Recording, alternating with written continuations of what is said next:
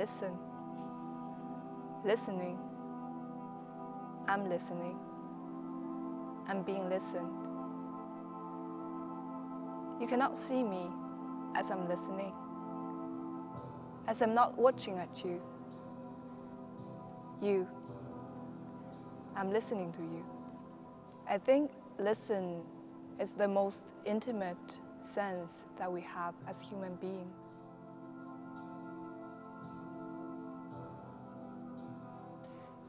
Quite overwhelming because you let the other person really into you. It's so present, hearing the voice again and again, a sentence again and again. Hears so much more than the person who spoke was aware of. So generous listening kind of means you hear more than the person speaking. You know more. Every little like hesitation, like if you would listen to what I'm saying now in a generous way, it's um, it can be shocking.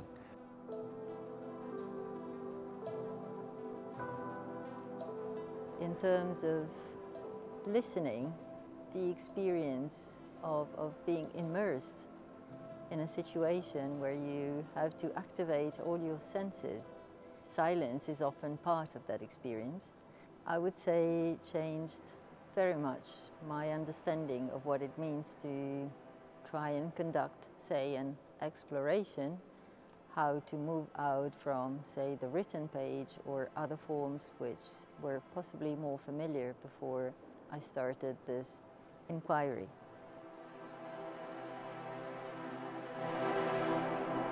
I believe that the act of listening to and in the ocean is fundamentally important. The ocean teaches us also about the limitation of our sensory system that we rely on, right? Uh, a lot of our being is geared at looking and seeing as the primary sense. It's also an act of connecting, right? So many species in the ocean uh, rely on sound, on location, on echolocation, to hunt, to find food, but also to find mates, to orient themselves and to communicate. Listening, I think, is something that happens with the entire body all the time. And for me, is a kind of primary mode of artistic response and responsibility. Um, by listening to a space or to a place or to a person, one can sort of better understand how can I be in conversation with something. I suppose I see it as the listening is the, the primary artistic activity, first and foremost uh, listening. And through that listening begins uh, the formation of a bond, of a relation, uh, from which a response can grow. That's something that's in conversations, making yourself, making your entire being um, available for response. Um, it's something that um, yeah, the world requires of us at this moment, to, to listen and to listen carefully and deeply and fully um, and find within us uh, that capacity to respond.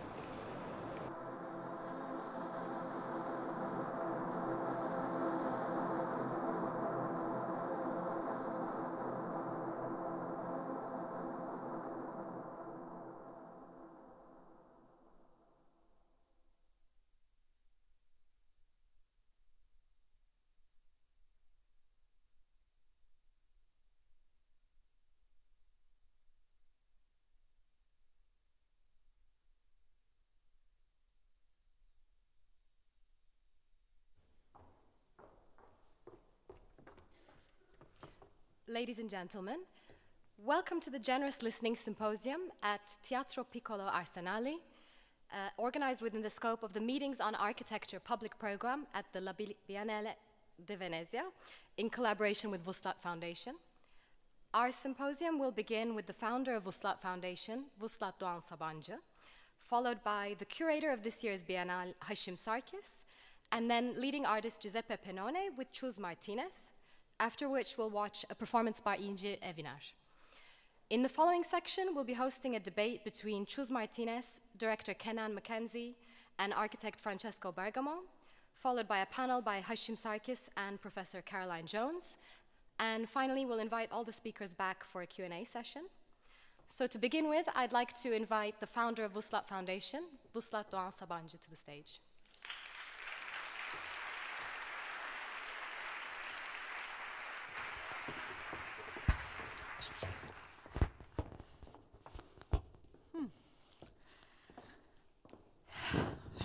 Everyone. I hope you're having a great day. It's a delight to welcome you all to Generous Listening Symposium in collaboration with Venice Biennale of Architecture. Speaking of generous listening, I would like to start by posing a question to you. Do you ever, how often, when you're speaking, you feel interrupted or pushed to finish your sentence? Or if I reverse the tables, how often do you find yourself, catch yourself trying to say what you want to say in a place where you ought to be listen, listening.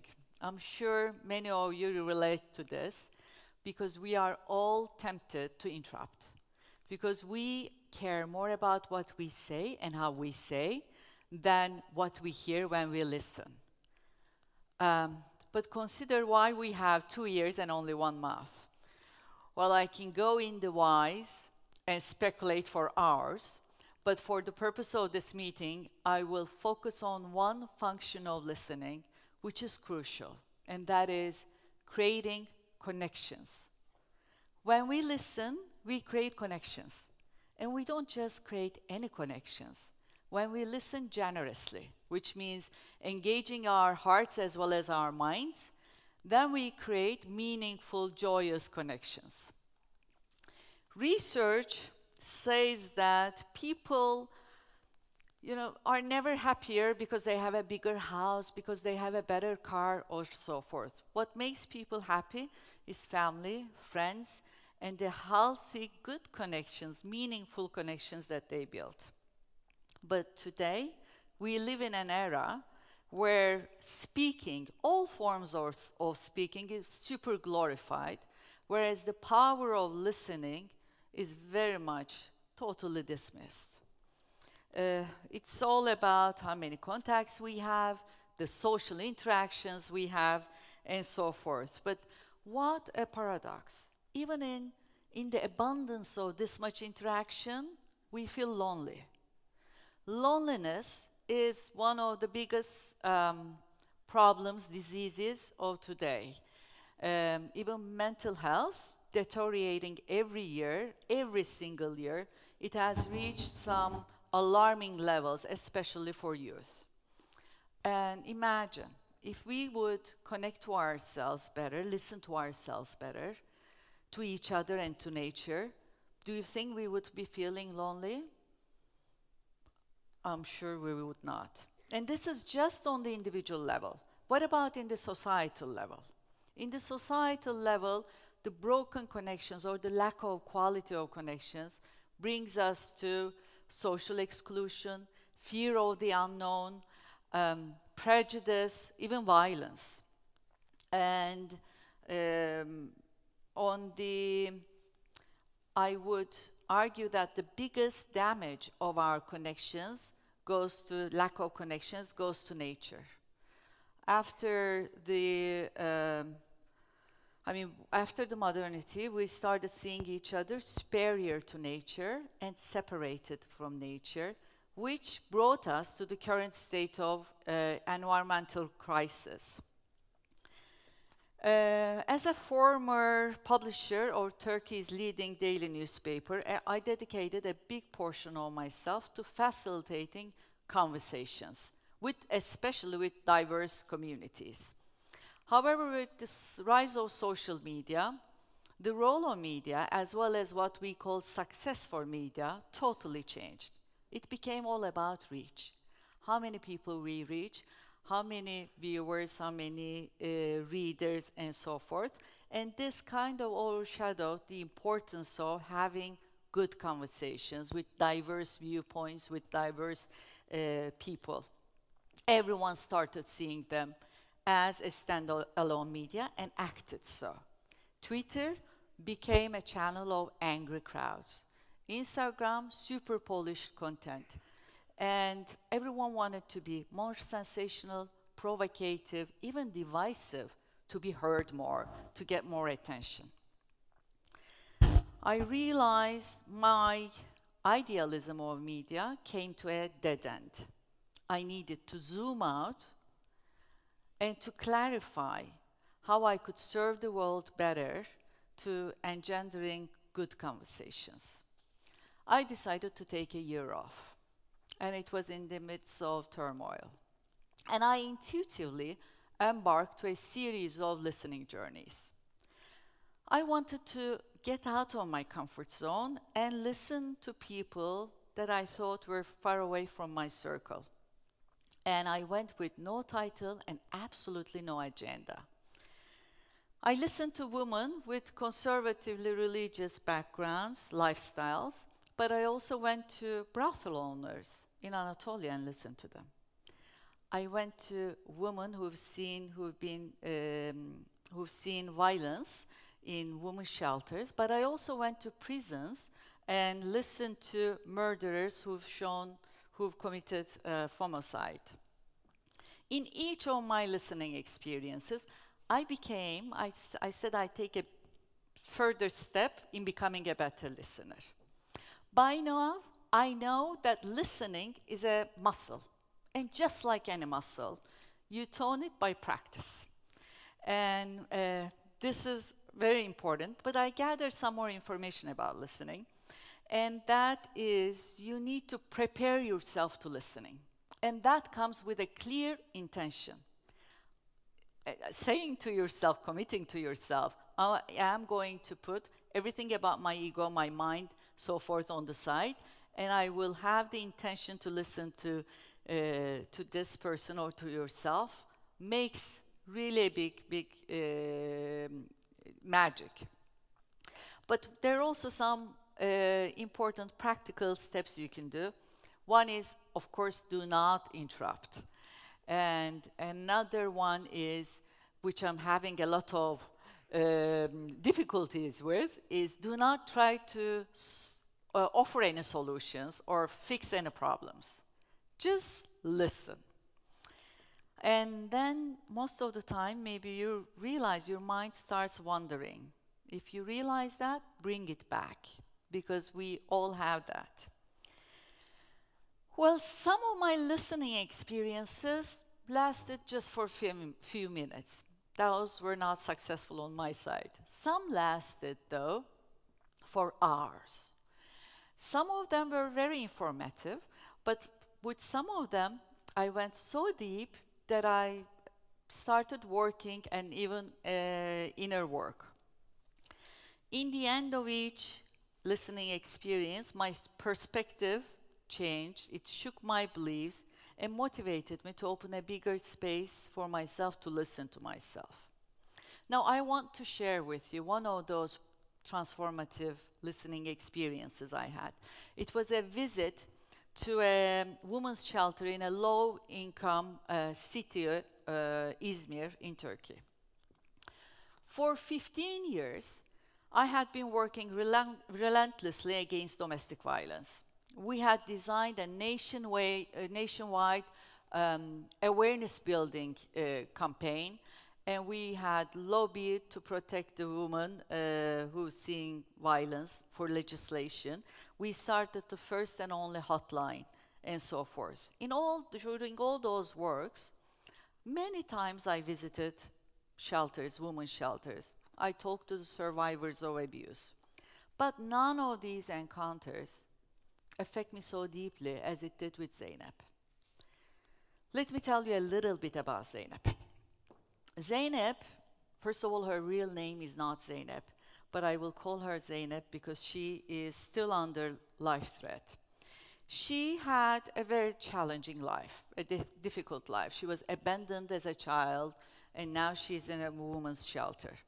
Her difficult experiences at the shelter were very similar to the other stories I had heard, but this time there was something different.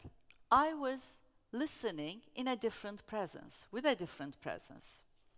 I had spent the entire day listening to difficult stories. And I had promised to go to the shelter, so I said I will, I will have to go. But I had absolutely no uh, physical or emotional strength to give to her. As I was listening to her, I was just listening to her. No solutions, no agenda, no. And then an unusual thing happened. Zeynep, this petite, meek looking woman, morphed into a giant as she talked. And me, I shrank into my whisperer myself. As she talked, the power dynamic between the two of us completely inverted. And um, uh, it seemed as if I was not there to, to help her, to give her power, but I was there to, to get some of her courage for resilience. Her words transported me far beyond her story to the depths of my own story. And through our stories, even though we come from completely different lives, I realize how much common emotions and um, common emotions, feelings we shared, especially as mothers, our love and our uh, concern for our children. We have a beautiful saying in Turkish. I'm sure many of you who are Turkish know this very well, and that's listening with your heart's ear. It is, if you engage your heart, you go beyond the words. And for the first time, with, with listening to Zeynep, I fully comprehended the, the meaning of the phrase. And I said, I ought to uh, define this, shape this, and globalize this. This is the background birth story of generous listening. Generous listening has the power to restore connections, broken connections, and it shows us that we're all one and the same, Uh, unique but one. It's impossible to become a generous listener, listener without doing the work personally. So most of the time when we talk about listening, it's listening to the other. That's the perception. But I truly believe and convinced from my experiences that you've got to do the work personally. And nature does this is this a sign? I spoke too long. So nature is also a, a, very important part of it because I found integrating these stories and making meaning of what I lived in nature. I learned to silence my mind and open myself to the unknown in nature. Strengthening the quality, uh, the, quanti- the quality of our connections is an antidote to world's many problems from uh, mental health to uh, otherizing to exploitation of nature to prejudice and so forth. Generous listening is an essential and a powerful tool to deepen our connections. If we agree the, on this, then we need to talk on how. How do we do it? How do we cultivate a, a, a, a culture of generous listening? Well, one of the most important steps is to is to bring awareness on it is to build up awareness on it. And this is exactly what we're doing all together. And everyone that watching us listening to us virtually we are elevating the role of listening in, in the world. So thank you for being part of this. And I feel very, very fortunate to start this journey with Giuseppe Penone, who has been writing and working on becoming nature since late 60s. His works and ideas are great inspiration to all of us. Thank you, Giuseppe, for, uh, for your vision and for also sharing your work to be a symbol on, on our journey. Thank you.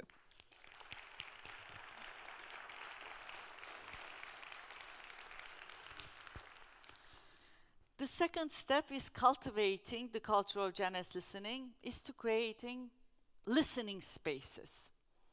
Architects and designers, since a long time, have done great, great work on creating stages for speaking.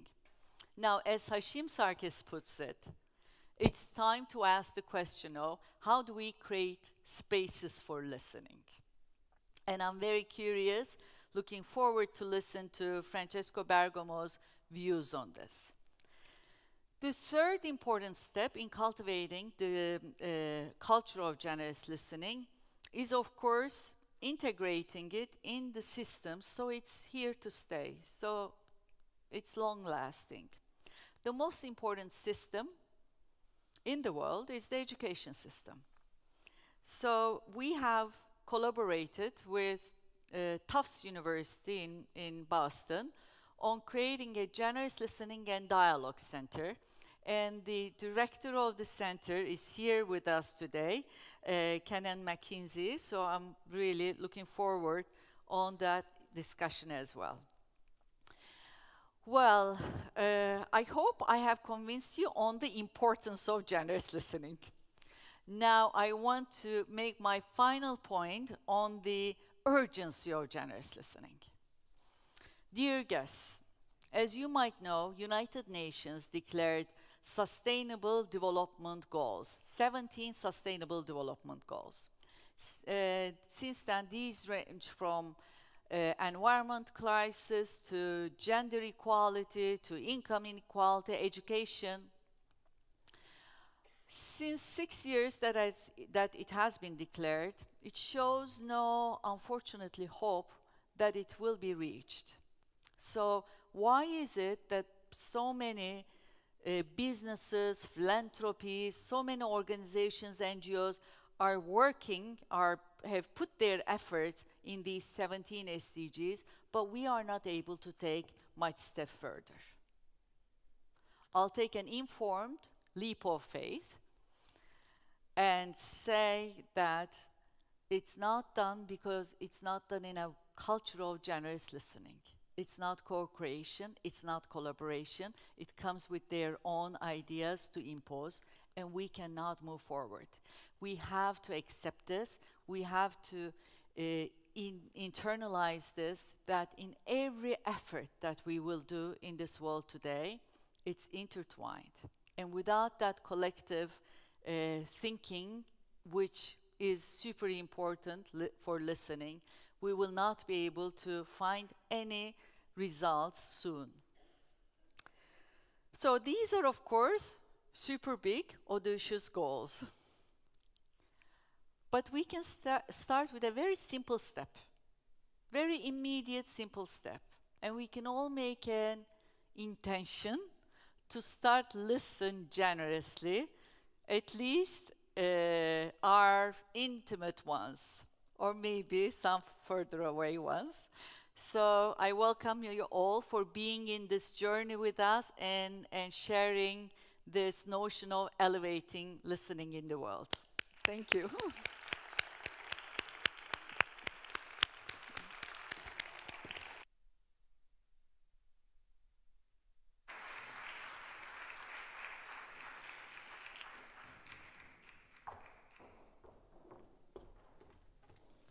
Thank you.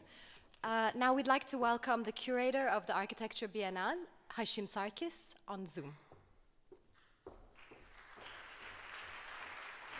Good afternoon, everybody. Can you hear me? Can you see me? Yeah? I go? Okay. Uh, I feel very privileged to be working on this Biennale, not just in partnership and with the generous support of the Vuslat Foundation in making this Biennale happen at a time when nobody was listening, when nobody believed that this effort could materialize given the crisis we were living in under the pandemic. It took faith, it took a leap of faith for anyone to understand that this Biennale is going to be possible and that it would be possible in different circumstances. It will be a different Biennale, but it would be an important one. The Vuslat Foundation listened and believed and helped us make it happen. So thank you, Vuslat, and thank you, Vuslat Foundation, primarily for everything you've done.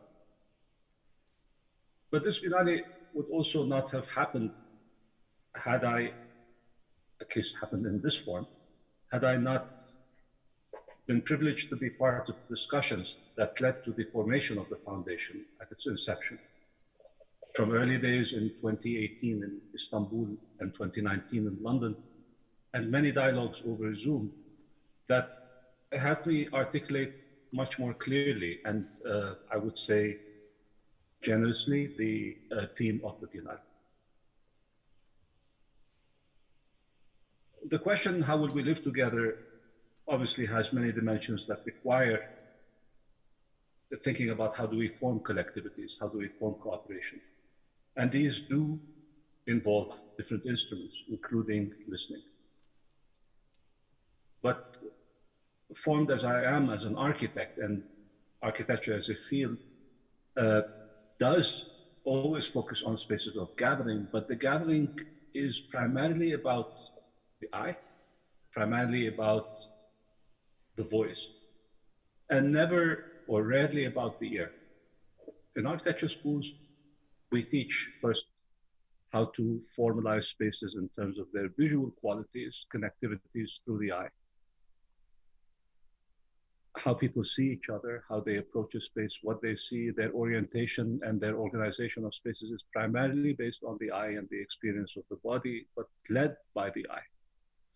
The voice comes second, and we do teach acoustics, we do teach uh, materials in terms of how they re respond to sound and voice.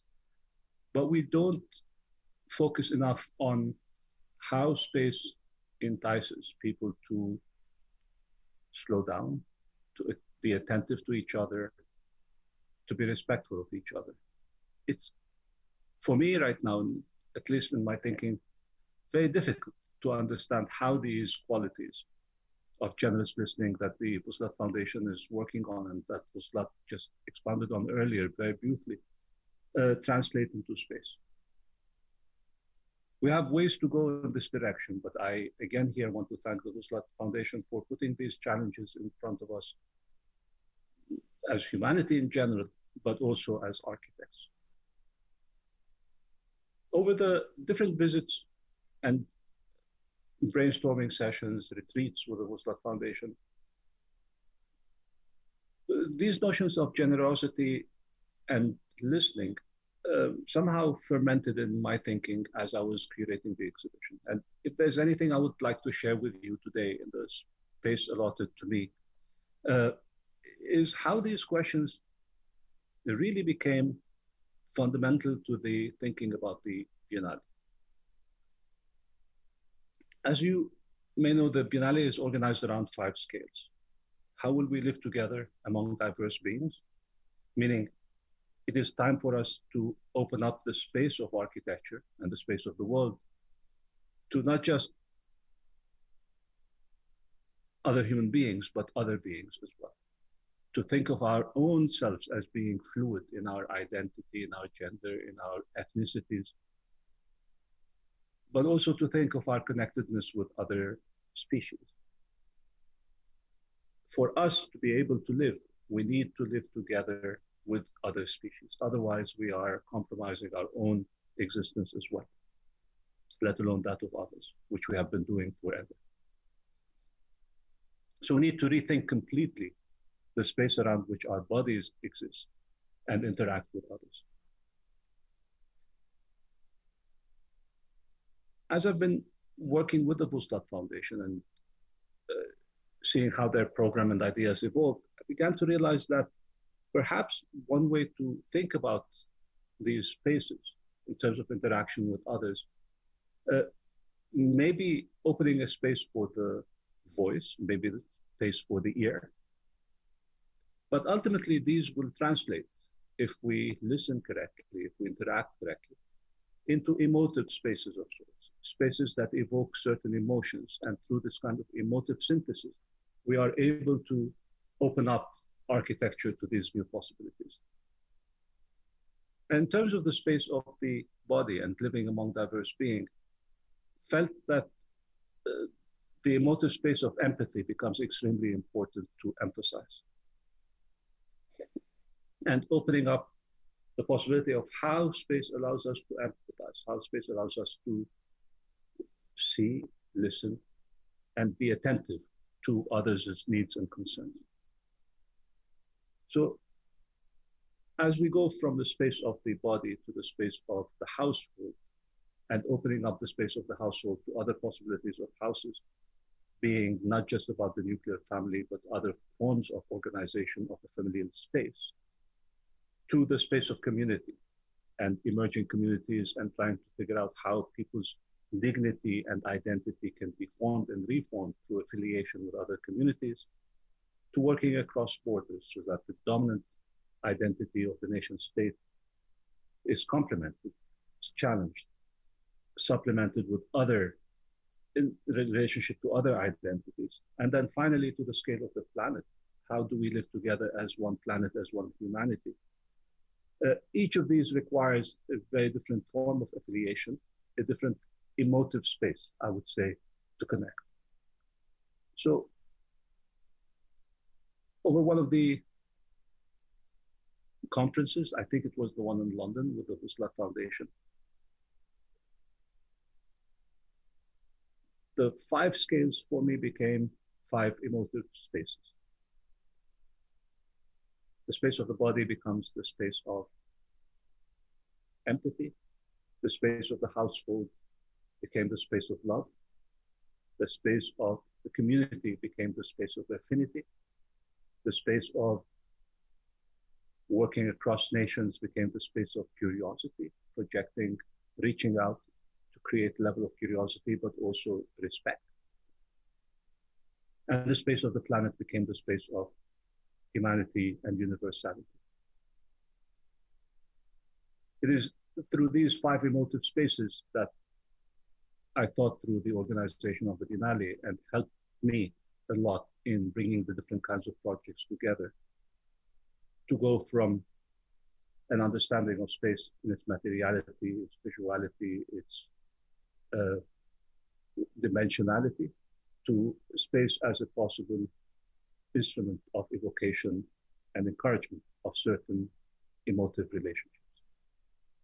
For all of the above, and for hopefully the way that the work manifests itself as a form of building cooperation and collaboration among people, I want to thank the Vuslat Foundation for helping us really articulate this dimension added to architecture much work lies ahead in this space, but you have opened up a lot of possibilities for architecture in this domain. Thank you very much.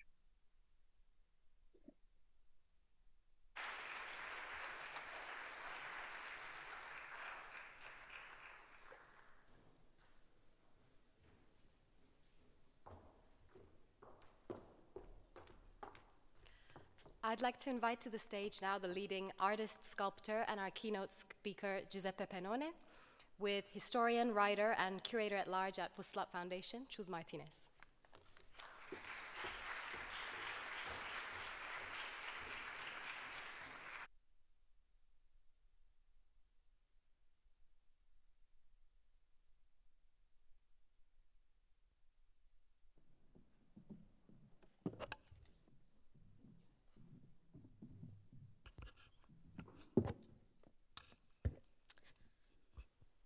So, where to start? Um, at the end of the day, when we talk about listening, we are not talking about something so different from uh, perceiving or being in front or in the presence of, uh, of an artwork. Actually, the, the history of, um, of the relationship that we establish with artworks is the history of reception, it's really not the history of broadcast. So it's really not very difficult to, to relate listening to the presence, being in the presence of, of artists and being in the presence of artworks.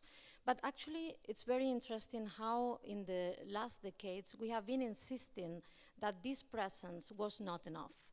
Um, that actually um, being receiving and, and being in this um, companionship with artworks was insufficient.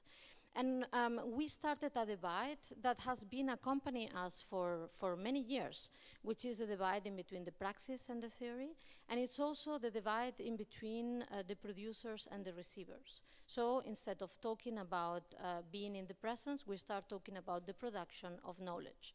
So even knowledge that uh, is something immaterial has been described as having the logic of, um, of a common good that could be made that we were doers of knowledge. And it took us many years, actually, and many efforts, mostly done by artists mm, before, but we have a very um, scheme memory in the art world, but also younger generations to reclaim and to actually reprogram that language and talking about receiving and letting beside the production of knowledge, which is a singular, both words in singular and moving into the plurals of the productions of knowledges by and then dropping production and just talking about knowledges even indigenous knowledges, acknowledging the plurality, the diversity that exists in the modus of perceiving. And it took many, many years and many decades, and it's a great pleasure for me to be in the company of uh, Giuseppe Penone because I think it has been uh, his work a, a major um, keystone, milestone, as they say in English, to to actually make that turn. And that turn is a turn that it has been um, obvious um, inside a certain texture of the art wall, but not to everyone. And I must say, and I was telling him that I've been experiencing an incredible interest and a new actuality of works like yours among younger generations. And I would start just by asking you about, about the trees and the trees in your work and the you know, the non-symbolic relationship that you have with nature, but the one-to-one -one relationship that you establish in your practice as a sculptor with nature? Uh, I, I started my work in the uh, end of 60, and it was a moment uh, uh where uh, the uh, young artist was working against the convention of, of the art that was uh, uh, before. So the, the relation with the, uh, with the material and with, the, with the form was a relation that want to be related to the reality. This was the basic uh, uh, um, idea. It was, uh, and reality was a word that was very important at, at, that time. For me, I was very young. I was uh, in 68. I was 21. Um, my idea, uh, in, intuition, was to work with something that I know better than other things, and it was the the world uh, that surrounded me in my uh, um, adolescence, in my first yeah. year of. and uh, uh, the interest that I had was about sculpture. And the, the most simple things that you can do to make a sculpture is to touch something. When you touch, in the moment that you touch, you are equal. Your body and the things that you touch have, is, is the same. So with this idea, it was possible for me to do a work with clay, with marble, with uh, any material, but always based on the idea of, of equity and of touch. And I tried to make uh, visible this idea uh, with uh, uh, um, a work uh, related to the growth of the tree. I think that the tree, it was uh, a fantastic sculpture in himself because he memorized in his body all his life and is a fantastic sculpture because he have the necessity of his life. So it was, uh, for me, it was an example of sculpture perfect, and I associated to this example of sculpture my gesture that was just to touch the tree. So I made a, an hand in uh, iron and I put on, on, on the trunk of the tree and the tree in the time he grew, and he make himself the, the, the print of my hand in, the, in his body like the print of my hand in the clay. So it was this the basic idea, it was an idea of equity between the, the, the element, the material that we touch and, and the man that touch the material. Um, when I was a student, I had a, a professor of contemporary art, and um, he told us that uh, in the classroom, and you said the word reality, we should talk about, uh, you know, the pragmatics of, of reality, and those pragmatics should be only read through the conditions that affect the human, specifically labor. So uh, good artwork, if you were a young Spaniard, it's an artwork that would be uh, addressing in a direct way the conditions of the human under the lens of labor, how labor creates an exploitation, and that everything related to nature would be a distraction, and that nobody could consider nature a political substance. And I still remember that because for many years, I was thinking that every time that I fall in love with something relating to nature, I was committing a sin. I was not being politically engaged, or I should not derivate or try to escape the real conditions uh, that real humans were facing uh, by going somewhere else. And many decades later, I discovered that there is no such dichotomy, that actually um, this binary is a binary uh, which is a, a, a, false one. But um, in, in the ideology of many of the, of the teachings about the function, uh, the good function, the good example of artists and art in our society, this has been excluded. And I'm asking you how politically is your approach to nature and how do you see it as well? Because you have been the maker of that substance. You made it possible for many of us to unite these two dimensions. Um, the, the, the, fact that uh, to work with some, uh, with an element that was not used uh, in that time in, in art, it was already a choose that was also a politic choose in, in a way because you work with something that uh, is no, is neglected in, this moment. So this was uh, uh, something that uh, uh, I have done. Not I was pro probably I was not conscient of, of this, but uh, I have done, and I, I feel completely in, and and I follow this idea for all, all my life. So it was uh, something that was very deeply in my, in my understanding of the reality. And this, uh, the reality in a way, the, and uh, it became, if you consider the reality, the things that surrounded you, in, uh, uh, and you try to, to be connected with them, this is a, a politic action. And my work is and understood, I try to understand the reality that surrounded me through the language of sculpture.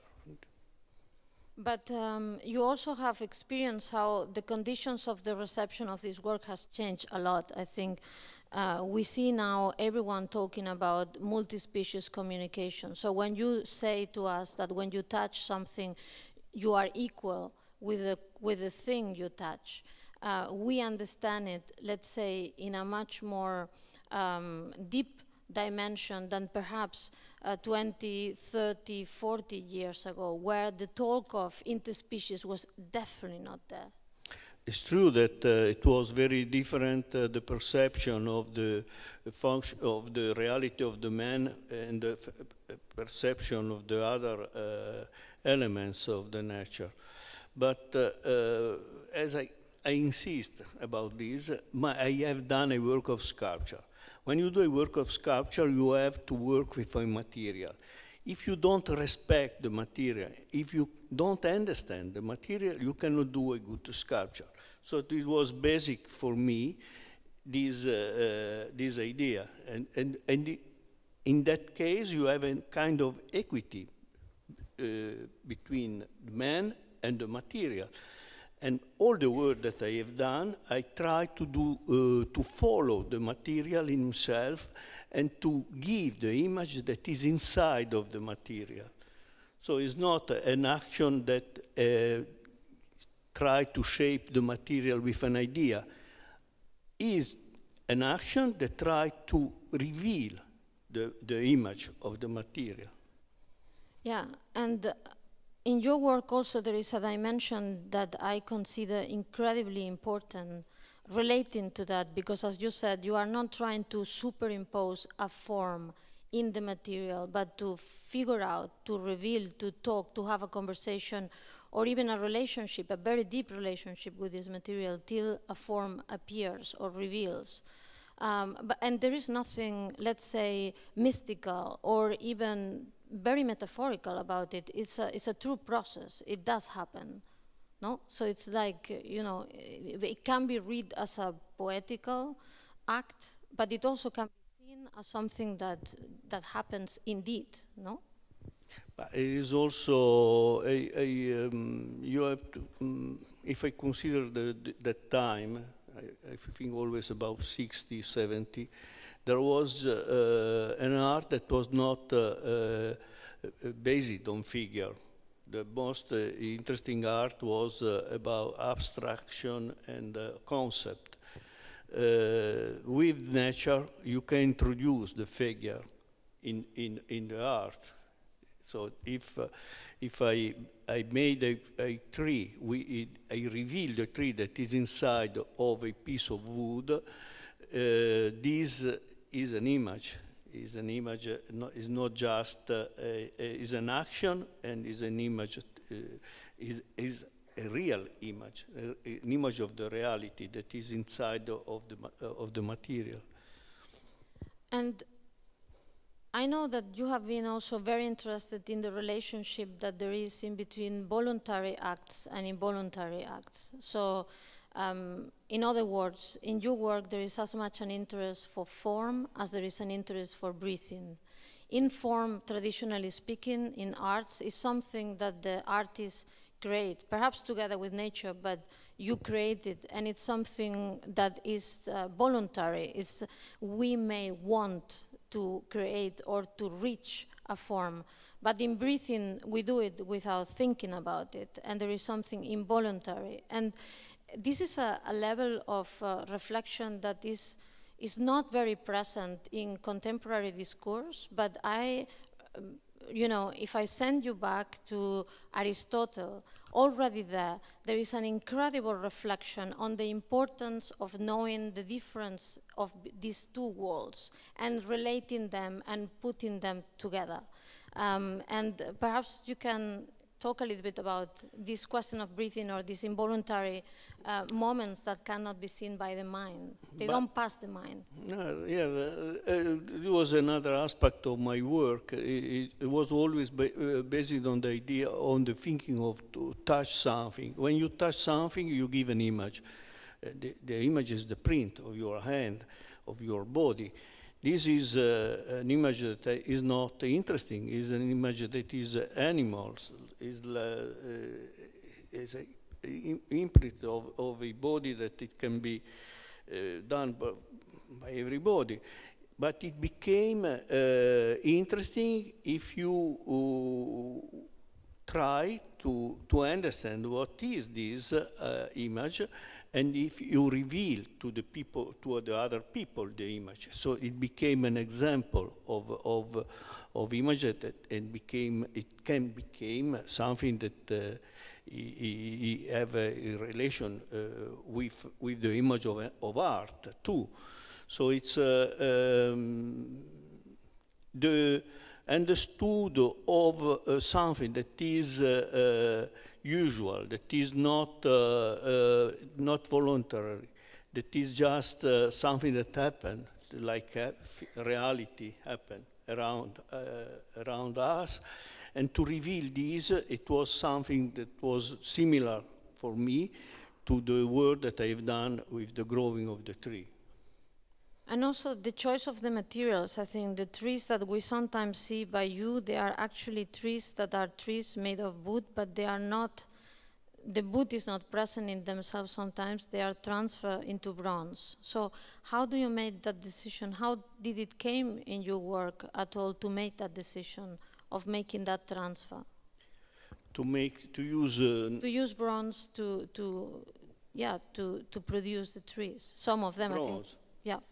No, uh, this was because uh, um, I, it was a long history in a way. I have done a work that was about potatoes.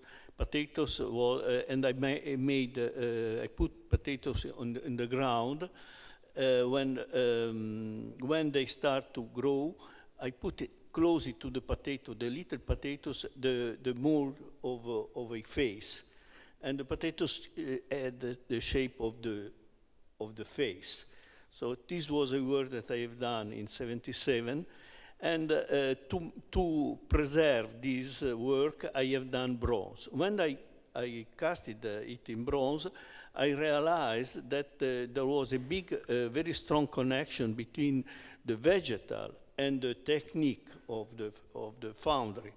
Because for to, in order to have a, a, a, a the bronze piece, uh, Eh, they, they have to do a kind of, eh, of eh, branches that will be the, to um, aliment the, the, the, the, sculpture with the material. So it was like uh, the structure of a tree but reversed. The tree was attracted by the light and the bronze uh, casting was done with the gravity force what was the reverse of the, of the, of the grow.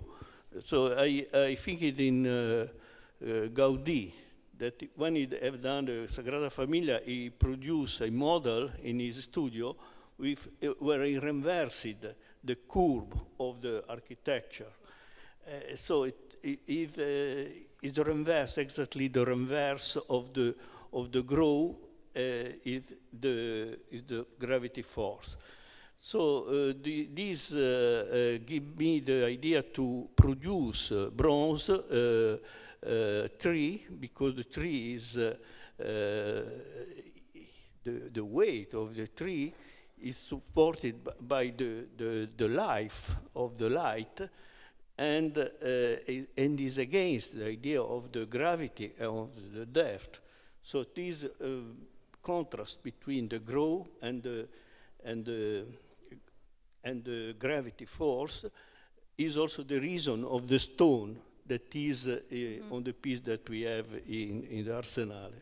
And also in the piece that you did for the for the um, Documenta in Documenta 13 yeah, in the, the park, the and I still remember when the tree arrived, and it was the first piece of the Documenta, so it inaugurated the Documenta, and it was uh, located in the Our Park in Kassel, and um, I you know, observe from the window of the office how people uh, started going to the tree thinking it was a real tree, but wondering if a real tree would have a stone on top. And then they came because of the stone, so the stone was like a lighthouse. It was attracting people curious because of the stone, thinking that it was just a normal tree, but some miracle happened and it was sustaining a stone. And then the very moment that they put the hand on the tree, noticing that the tree was warm, because in, in a warm day it would kept, and even in not a warm day, it kept the temperature of the climate. And then in the, in the realization of the temperature of the object, the faces of the people change. And I still remember people like being with one hand on the phone and with the other hand attached to the tree.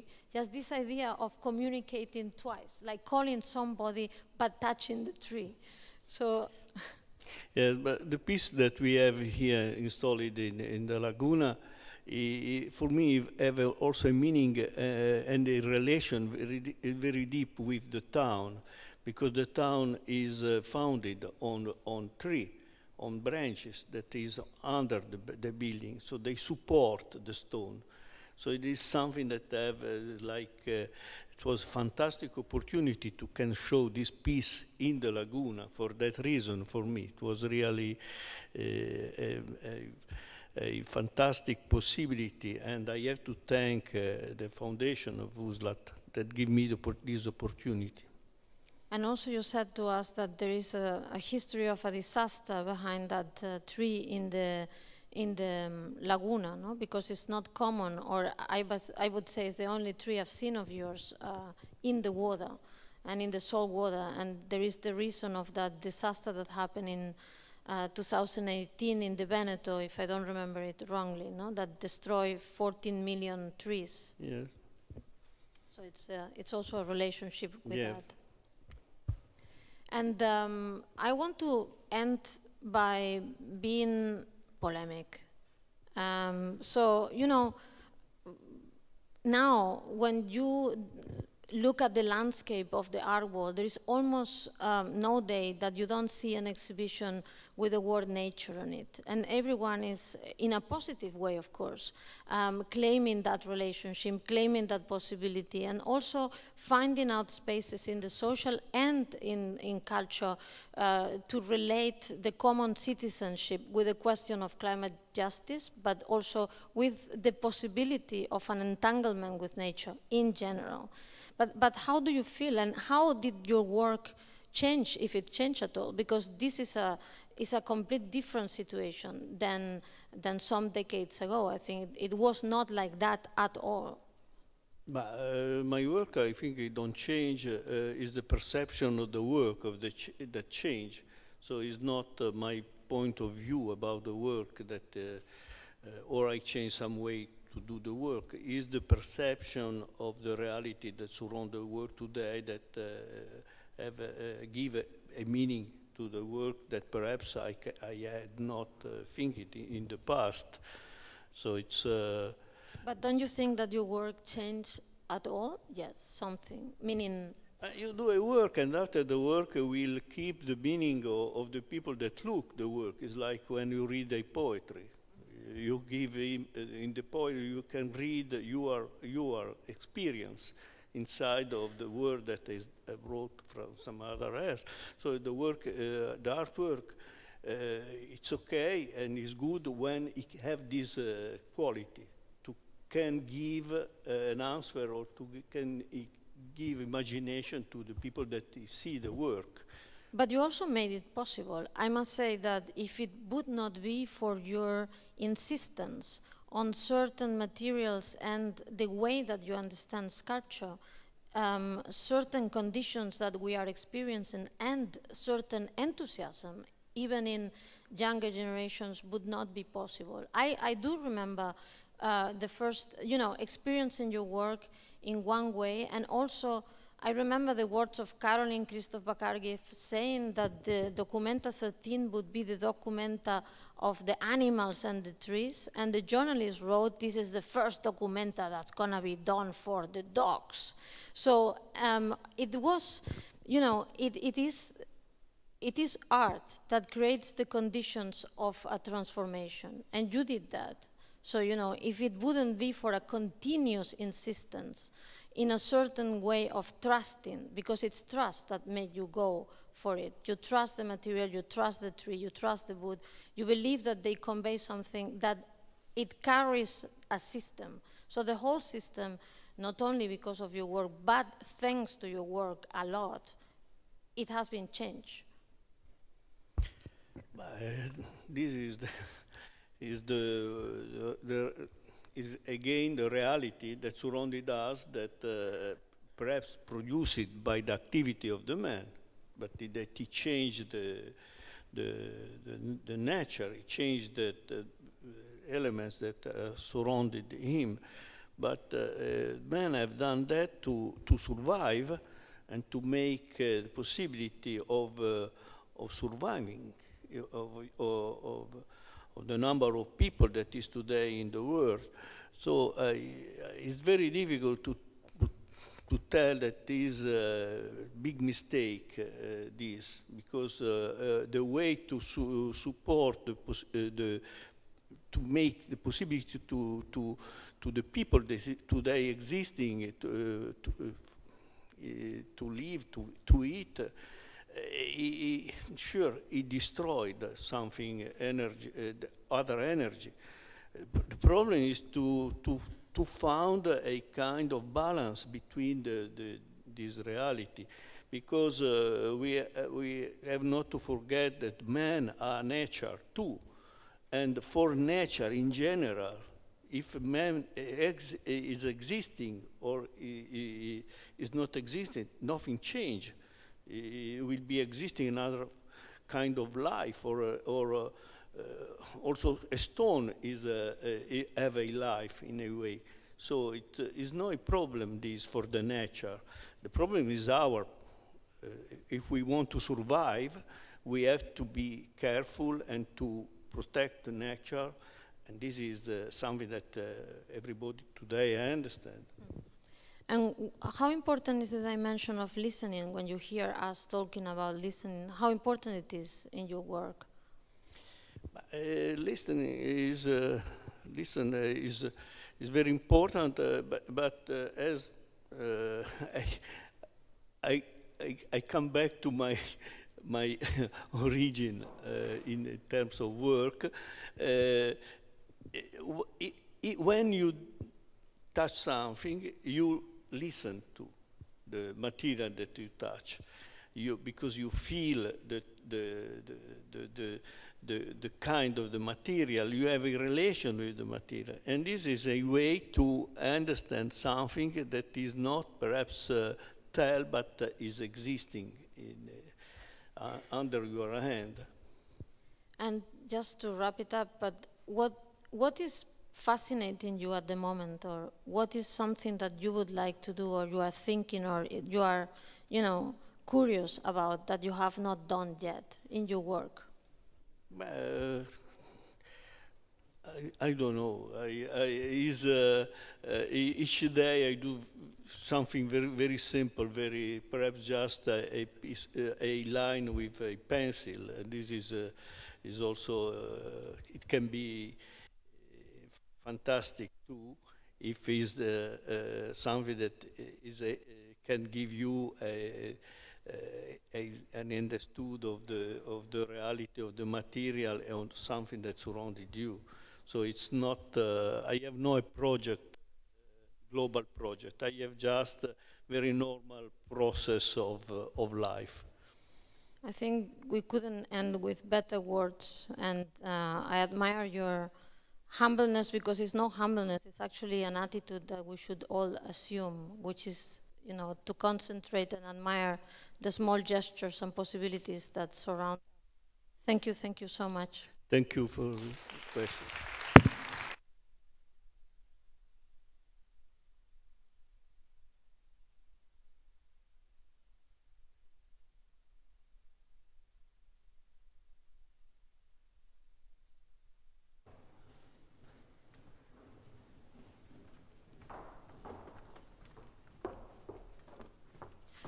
Thank you very much. I'd like to invite contemporary artist İnci Eviner to the stage.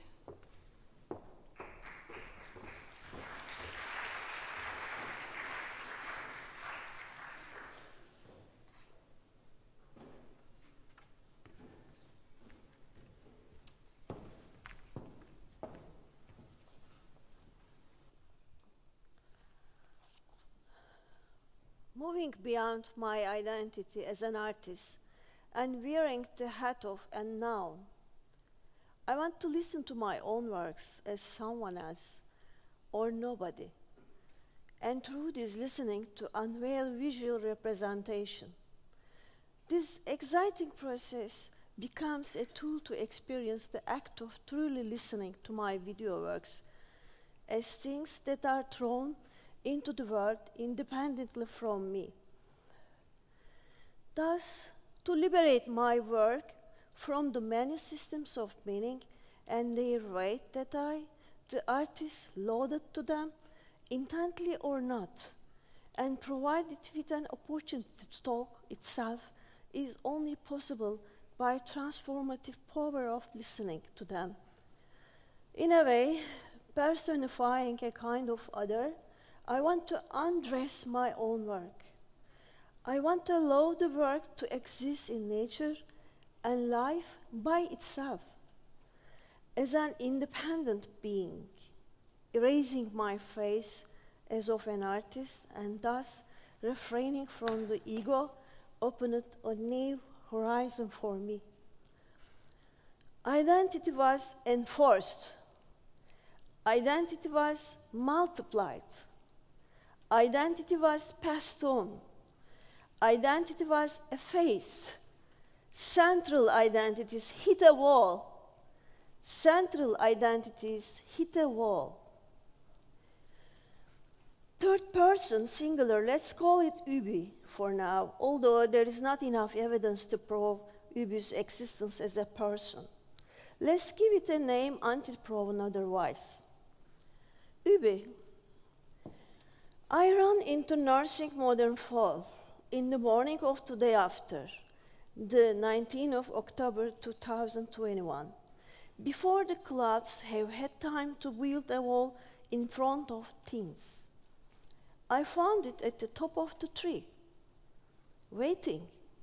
While I was on my way from the studio to home or walking backwards from home to my studio, I have been taking these walks probably since 2010 as one of my meaningless daily acts.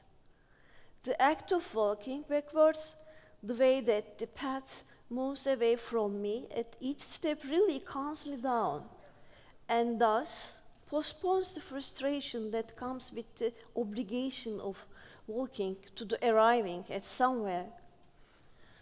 Anyway, uh, coming back to the story, the video work titled Nursing Modern Fall, produced by artist İnci Eviner, 2012, insists on meeting up this insistence that came after this year, all this year, made me very anxious. I must listen to what it has to say, and I already feel the trauma that this act will cause. The act of listening, ubu, to overhear the discomfort of this one way communication, in which the speaker does not recognize us as a subject and hence does not directly address to us, but we forcefully try to take part as a raw and formless being. Push us to meddle and pair in vain. What we hear with images, thinking doing this would give more meaning to our lives. So what we have to do here is to go the other way around and listen to what the images are whispering to us. But while doing this can, I, Ubi, become not a subject, but an empty body, searching for its sound or voice? Could listening find itself a new space of being without getting interrupted by seeing? All of these are to make listening active and liberated from all the prejudice. Let us start. Action number one. We have to start somewhere, but I have just denied the visual guidance of the image. So, where should I start? How am I going to find my way in this uncanny planet? This work is going to find my way in this uncanny planet, which no sound corresponds to its source. Listening to nursing modern fall, I realized that the sound wants neither to be a complement of a visual world nor the sound of the object. To start listening, for the act of listening first, to freely realize itself, we have to save it from where it is stuck in between language and body, language and body.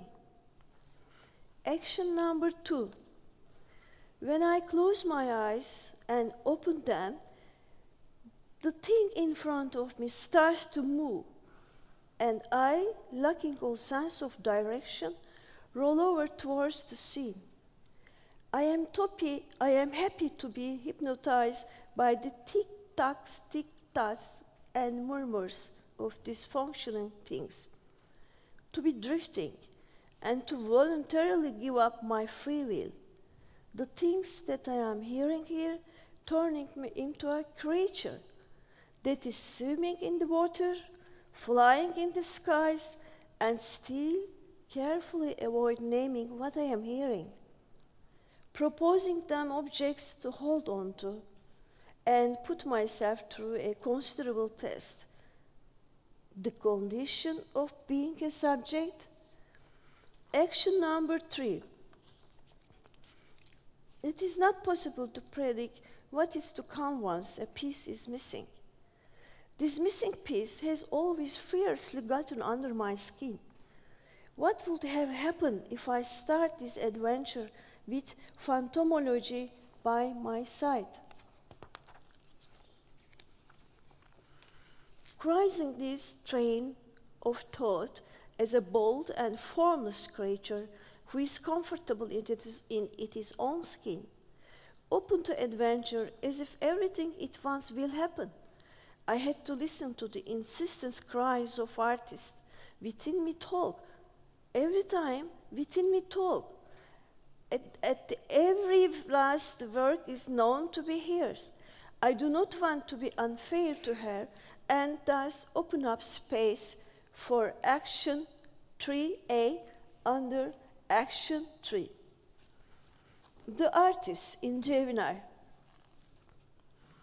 I am actually quite interested in how the modernist constructs of identity ideologies are reflected in architecture. The way that architecture has affected social and gender roles and identities is also equally interesting. I have spent my whole life drifting between the progressive ideals of modernism and traditions. I started nursing modern fall, imitating the sketches of certain architects who are important for European cultural identity. But after some time, I abandoned this rational flow and continued to work in whatever way I, I wanted. The resulting architectural plans were freckle, stuttering, and funny. Funny. While by drawing them as a, as a woman, tried to understand how the architectural plans shape my intellect. I also learned how to deal with them. One of the most important scenes, with great jealousy, I tried to imitate Auguste Perret plan for Champs-Élysées Theatre, which indeed stands at the very center of this video, but in the middle of my drawing process, I changed my mind and left the rein to the demon coming in front door ajar. Thus, Perret's concrete structure turns into a stage for my madness. For a moment, let's put its statements by the artist on hold and continue to listen to the work.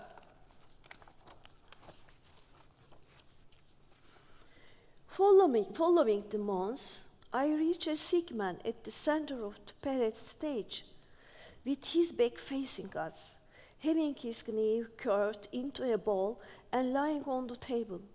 He looks resented and given up. Before taking his place at Rembrandt, the anatomy lesson, as a cadaver amidst the murmurs, he hopes to take refuge in the infinity care of the nurses. And the woman, four beautiful nurses, two of them sneering. One shakes the hand of patient, maybe out of affection or excessive hatred, to an extent that she decapitated him. And the head is quickly reborn from seas as, as a mythological, mythological strong athlete and lays back again on the table and awaits the four beautiful women. The cruelest of nurses look sarcastically into our eyes. The only way to avoid this glance is to listen to her. I do not comply with the role given to me. My desperation fell into me as a heavy melancholy during this play. The bitter venom of my sadness spilled into the sea. I am sly and clever, rebellious and sexy. I throw all things that you have associated with my rights back at you. My place is on the stage. Hop, hop, hop, la, la, la, hop, hop, hop. I came to Philharmonic Place to dance with Apollinaire and Picabia for my love to Perret. Ho, ho, ho, lie, lie, lie. At this moment, I hear a moan of pleasure. A woman pleased with her masculinity, loving herself amid sparkles. The rustling of her dress creates a tidal melody with the moan the old songs will not console you. The girl boy will lie down, watching herself to become a boy girl. Hey, hey, hey, become a boy girl. Hey, hey, hey, lo, lo, lo. Action listening number three. This time I am listening to the sound coming from the ceiling. What is the animal that spins around itself in circular motions and spins and spins, lighting up the world as it spins? The sound from the ceiling is like a shout of victory out taking the weak voice of teenage girl. The coward gender of humanity, the sparkling source of the hypocrisy of pleasures start with the innocence of socks at the tip of the foot and tip of the foot and tip of the foot and and the desires from the feet to the top of the head rush rush to drown in the stars of a disco ball to drown in the stars of the disco ball action listening for the underground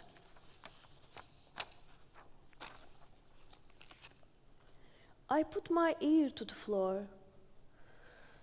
Footsteps again, the sound of a fierce struggle. The woman stands up to the womanhood.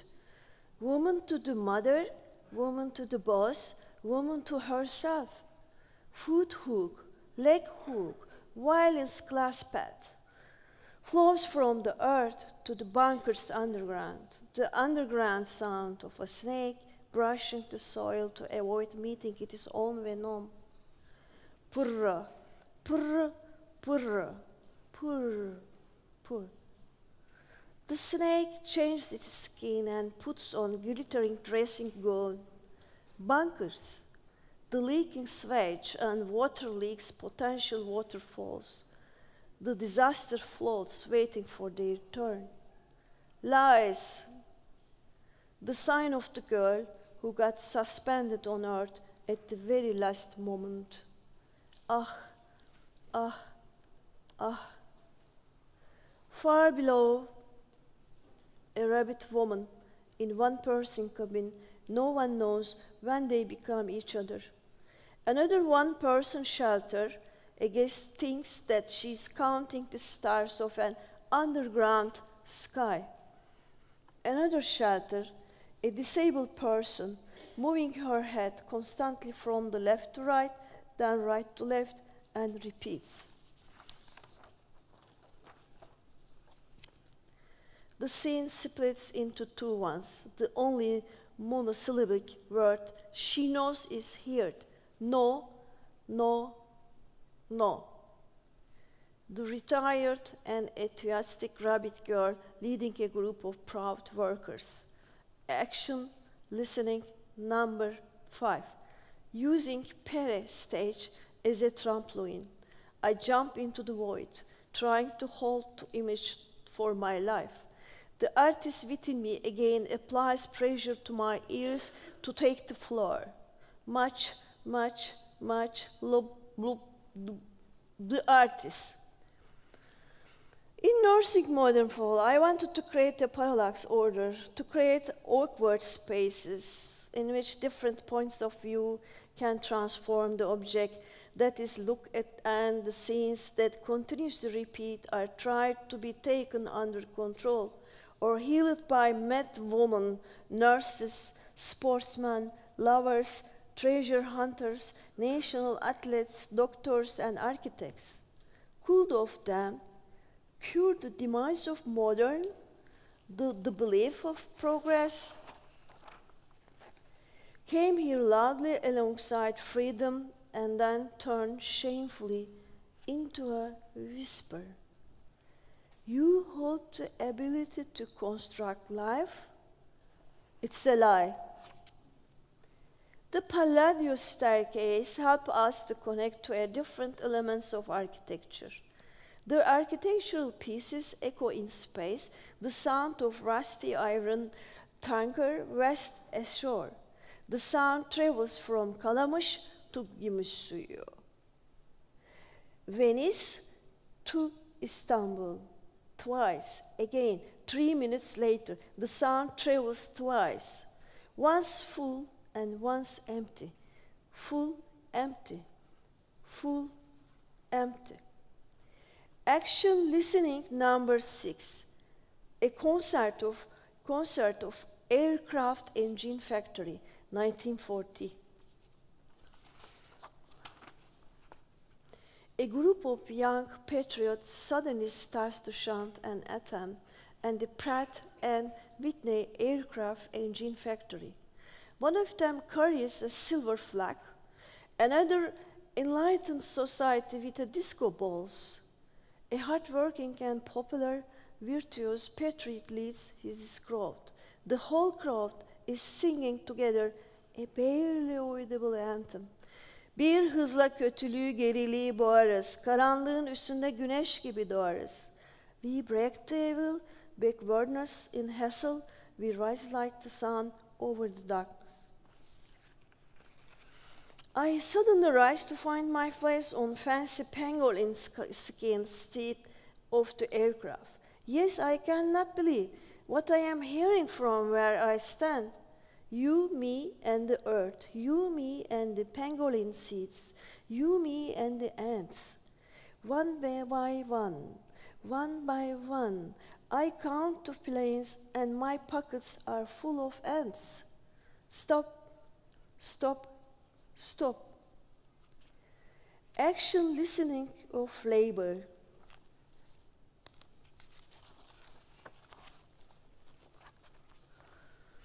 I want to fail into the space between the ordinary disorder of the disappointed order of things and excessiveness of the destruction and madness.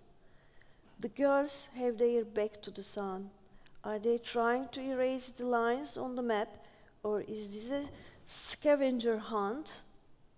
The promises of the map are discovery, power, happiness, welfare, and richness the sound of labor. Tick, tock, tick, tick, tick. Where will the girls carry the G string beneath their workman suits like a flag? When we will the tick tocks of labor expose, expose the enemy? When does the tick tocks of labor kill a young girl, a young girl, a action bodily sound number eight. When I am alone, I can trace the moment of sound in space. Like an arrow with a sharp end, sometimes it goes through the body without piercing it. The moment of the lips of the girl who is reading a book here, in the middle of silence, reminded me of words kissed on lips, smile, heart, ringing, greeting, loving, smelling. When I pay attention to the sound, I hear the, the cancan dancing. Boarding school leakage girl gets her food stuck in the garbage can. Upstairs from the old concrete columns of nursing modern fall, a garbage can, a bad memories can. To give your food to something or someone in a dream will make your enemies happy the dream breeder. You are wearing snakeskin pajamas with your foot in the silver bucket. You are waiting for your wedding night for your survival. Action bodiless networks of sound. Number nine, maps. The sound of the foot walking on soil turns into the loose deposits. A satellite map the interest of knowing the world, the networks are talking over the world, taking over the world, and the cosmic sound of the invisible rhizome that connect with them very thin threads. Now, Here in Venice, Italy, let's listen to the sound coming from the ground, under, and the sky. One of the girls I know, she usually lives on those streets, believes that she can ride Skylon like a horse. This is just funny, it's so funny. The years in 1951 Festival of Britain, Skylon by Powell and Moya and Royal Festival Hall. The sound is at the intersection of language and body, but it is neither a part of the language nor the body. Let us not forget the girl in her underwear rising the disco ball in her hand to the sky, who tries to remind this maddening crowd of their citizenship duties. If I had to identify with someone in this video, I would choose her, stuck between womanhood and citizenship. With the knee-high socks, I ask from where a gun stands, how do we listen to a body that is not a citizen? Departing from the language, I plunge into murmurs with heartfelt love.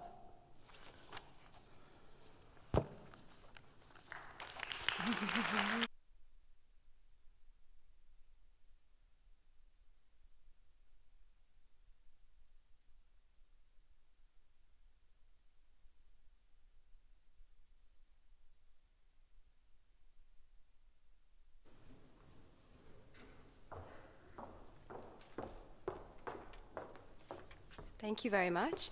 I'd like to welcome back on Zoom Hashim Sarkis with the professor in the History, Theory, and Criticism section at the Department of Architecture from MIT, Caroline Jones. Thank you very much. These have been amazing acts uh, to follow for us. Uh, and I do want to highlight the importance of the lyrical spaces that were opened up just now in the two presentations that uh, preceded. And also, if I may extract something from the Penone piece uh, in relationship to the theme of the Biennale, but also to its arrangement as a space. Uh, Giuseppe, we've had a big challenge throughout, not just myself, but previous curators, uh, in dealing with uh, Sansovino's amazing but very overwhelming Gaggiandre structure. And every time anyone tried to step into that space, uh, Sansovino elegantly from a distance defeated them.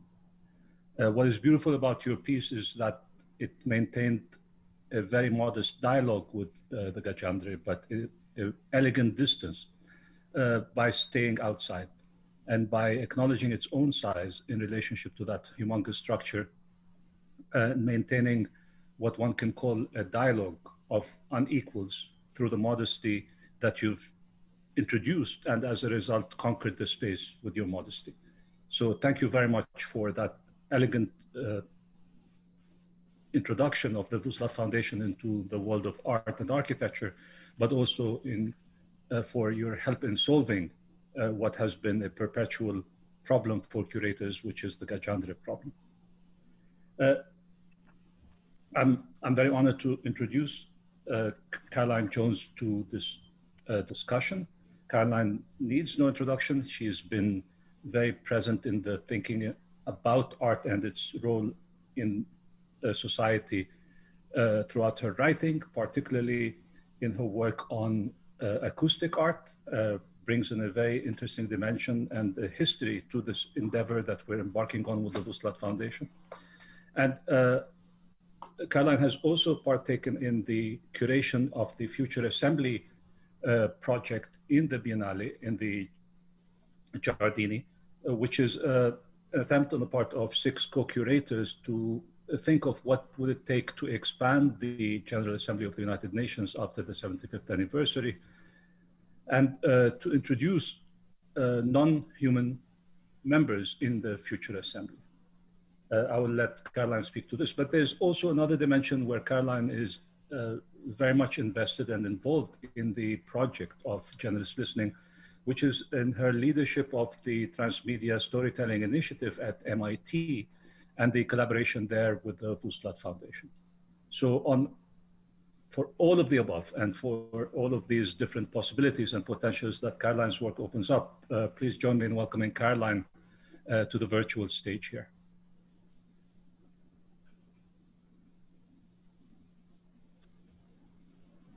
Can everyone hear me? Don't care so much if you see me, but hoping you can hear me. Thank you so much. It's a great privilege and an honor to be part of this conversation with curators and artists whom I so deeply admire. I'm going to attempt to share my screen, and I want to optimize for video and for sound. And hopefully, I have the bandwidth to do this. Can everyone see and not, not yet hear, but at least see my screen? You'll tell me if you can't. So I wanted to focus um, with great interest in my own heart on the potential for generous listening within the complex and often digital and often virtual forms uh, that artists are using today. And MIT is, of course, actively teaching this material. And I want in particular to just touch on uh, a few signal examples of what we might expect uh, to emerge now that we are implementing the V Foundation's Generous Listening Fellowship for our amazing graduate students. So these are just thumbnails of materials that I'm going to be speaking about incredibly briefly today. And, you know, at the last minute, of course, listening to Chus and Penone, I had to add uh, a couple of uh, slides because I'm an art historian. And I'm, I'm very moved by the fact that our own brain processes hearing in a similar mechanosensory way as it processes touch. In other words, we don't, I mean, you might think you hear sound directly, but in fact, you're hearing a touch of vibrating airwaves, vibrating material on a very physical tympanum, right, in your eardrum. So I was very moved by Penone's discussion of the relationship to the potato, right, which does become these extraordinarily beautiful cast objects, because the depositing of, a, of, a, of an iron version of a hand around a potato is a way of listening to the potato growing. It's a way of extending human touch into the more than human time frame of the vegetal, which is so different from our forms of attention. So, with that inspiration, I'm going to simply proceed on this discussion of our MIT initiative in transmedia storytelling, which involves a lot of different groups, which I'm not going to explain here, but merely to show you uh, this, this constellation, which I think of as an ecosystem, an ecosystem of different kinds of species of pedagogical and learning entities, and their very different affordances within this system. Now, of course, we're thrilled to be working with the Vuslat Foundation on this new uh, a fellowship for generous listening. And this is just very new. We've just released the proposal to students, and the applications are pouring in.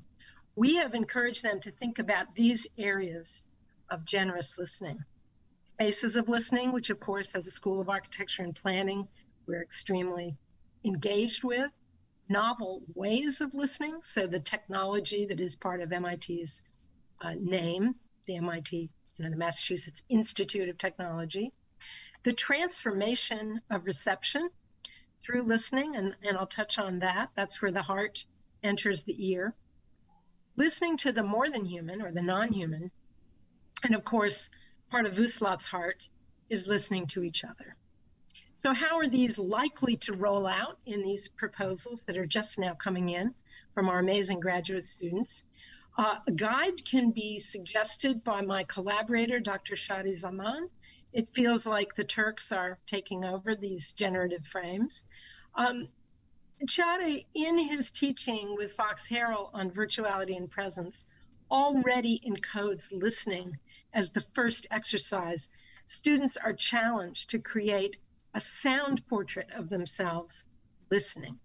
What are the sounds in their world that make them as subjects. So this spatialized listening is already a part of our ecosystem. And now we're going to move into this challenge for the students to begin thinking about the spaces of listening because sound waves are always encoded by the spaces that they reverberate within, the, the resonance that provides us with information about how we navigate this world. So, what are the roles of digital and physical spaces in listening? What are the opportunities presented by transmedia for crafting spaces of generous and generative listening? We can imagine some of the responses will be like the videos that were produced in the first generation of transmedia storytelling um, narratives. And I'm just, I'm going to try and play a little bit of this video. I'm going to speed ahead to a moment around 4.08 where we have um, the students who made this virtual reality encounter with the spaces of protest in the Black Lives Matter marches in Manhattan. So you have to imagine it's a pandemic and students are stuck in their rooms, they can't go anywhere, and they're actually bringing these free expressions of anguish and community engagement, right, into an augmented reality of their own space, right? So they're encountering these journalistic um, video clips and narratives from their own living room. And I'm hoping that if I can move to this one, we can get to listen to it. It's a black nurse who's speaking about her efforts to save pandemic into another one. Um, we fought COVID, and that was the worst three months I've ever experienced in healthcare. And then to come into something like this and witness what you witness on the television that we all saw happen to George Floyd. When I go to work every day, I don't discriminate. I have combative patients, we have psych patients, we have mental, mental illnesses, and we restrain people without having to hurt them or kill them. So for me, this was a very, very powerful artwork that a team of students had produced across three of our different departments. It was powerful because the stated position of our mainstream newspaper journalism was the protests on the street are destructive, they're vandals, they're destroying things. But when you encountered these vernacular video and sound files, you realized that people were putting their lives at risk during a pandemic to go and be together and there was joy in that. There was exultation in that. There was purpose in that. And it was a corrective to mainstream journalism that I found extremely powerful. There's more because listening within space, embodying a narrative, is a way of triggering human memory. Çağrı Zaman in his PhD project has studied the effect of spatialized encounter with media versus a flat screen version of it. And he's done the psychological studies to prove that, that visitors to these virtual spaces remember what they encounter much more within this spatial encoding of sound and memory. We can also imagine novel ways of listening because our students are already coming up uh, during the pandemic with ways of measuring spaces acoustically to thereby listen to urban activity and its lack thereof. Okay. So these are two contrasts between June and July when the pandemic had basically shut down public spaces versus when they became open again, entirely measured by a spatialized sonic database. So this is the this is the kind of thing our students are interested in doing. And what the Vuslat Foundation Fellowship should be able to do is encouraging them to make narratives of meaning, of cultural connection, and of transformation out of such data gathering activities. Listening to each other. This is, of course, crucial. And I happen to know that one of the proposals coming is from a very interesting architecture student who worked with me in a landscape seminar and was moved to go through the American park system and provide the voices of Native American peoples who had been eradicated from these ancestral lands in order to make spaces of visual contemplation, right? This is a profound example of how the auditory can provide voices that have been silenced by the construction of a landscape sublime. I'm very excited about these proposals and I'm looking forward to amazing work as a result. transformation through listening, we're heading in a direction with our Department of Urban Studies where we can welcome the MIT graduate Devi Lockwood, who's going to be speaking about her book, 1001 Voices on Climate Change, resulting from her bicycle trip across the country to speak with people about their narratives of how the climate crisis is touching their lives. So Devi prompts us for this, this amazing session coming up in a couple of weeks. What is deep listening and how is it relevant to the climate movement? What languages can we use to draw people into stories of climate change rather than push them away?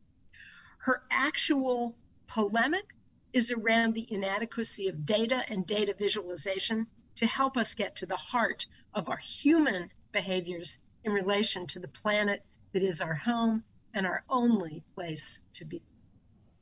Listening to the more than human is thus a very important part of my own interest in having this fellowship really make a difference. And I'm looking to uh, students whose dissertations I'm part of, such as the amazing Media Lab PhD student Nicole L'Huillier, who is listening to cosmic, indigenous, and natural sonorities, including our own local marshlands, for which she has produced sort of marsh symphonies so that we can imagine the incredible work of oxygenation that goes into these territories that were formerly thought of as wastelands to be filled in. And create land for urban occupation. So thank you, Vuslat Foundation. We are incredibly excited to begin this work and inspired by your leadership and generous listening.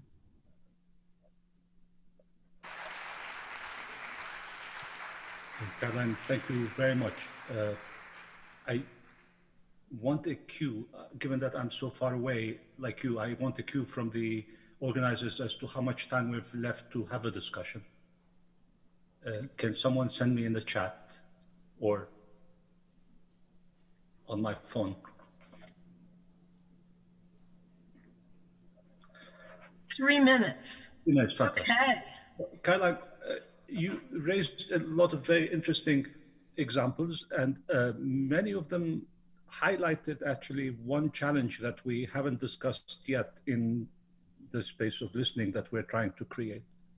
First of all, I think what, what you brought to the table also, not just in terms of the wealth of examples, but in terms of the understanding of what it takes, is the complexity of a network that is necessary to build in order for this exercise to be meaningful. And uh, what I admired about the Vuslat Foundation from the get-go is its uh, ability to, since its inception, uh, build a network, to imagine itself not as being in an isolated space, but about feeding and supporting and connecting to the network from the Biennale to MIT to Tufts to Istanbul and other locations. It's, it's one of the few foundations that don't have one home base at, its at their inception, but many. But that opens another challenge, which you highlighted yourself, which is that when we listen, we listen to people speaking in different tongues uh, with different areas of expertise. And you highlighted in your talk uh, how this transmedia storytelling is about different media speaking to each other and across. And uh, also that we are not just different individuals and species, but we speak with different tongues. And so, can you speak a little bit to the space, but also the challenge of translation that is involved in this process of uh, transdisciplinary listening? I love the question. And of course, some entities speak without tongues at all, right? so, this is part of our, our delightful challenge. I will again allude to one of our remarkable students. So a Media Lab dissertation, uh, sorry, a master's uh, work that I was privileged to be part of is with my colleague Ekene Ijeoma in the Poetic Justice Lab at MIT's Media Lab. And Ekene has a beautiful project listening to the voices in many languages, counting numbers as part of the US Census Project, which famously undercounts the voices of non-English speaking immigrants. And my student, Nina Lutz, challenged herself to provide a sign language equivalent of this auditory counting, right? Sign language is a profound space of translation for the differently abled human, right? Which cannot hear the counting of the other languages, but speaks a profoundly visual language of hands and bodies in motion. So this, I just, I kind of want to throw it back to the inspiration of Penone's work, uh, which is very, very important to me personally because I was at MoMA when he did his amazing drawing of touch curving out of the wall. Maybe you remember that, Giuseppe? Anyway, it certainly changed my life.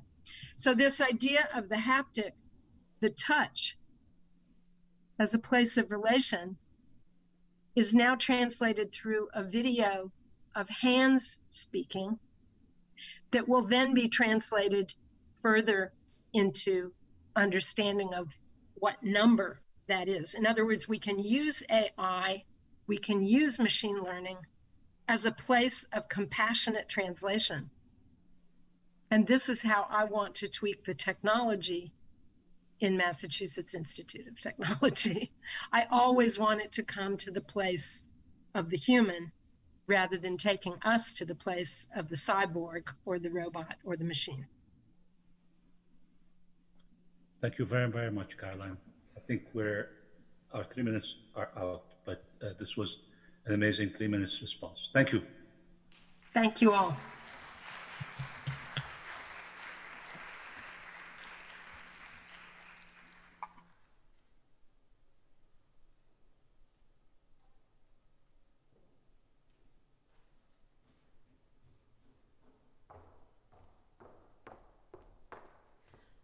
I'd like to welcome back Chus Martínez and Director of the Generous Listening and Dialogue Center at Tufts University's Jonathan M. Tisch College of Civic Life, Kenann McKenzie, and architect Francesco Bergamo.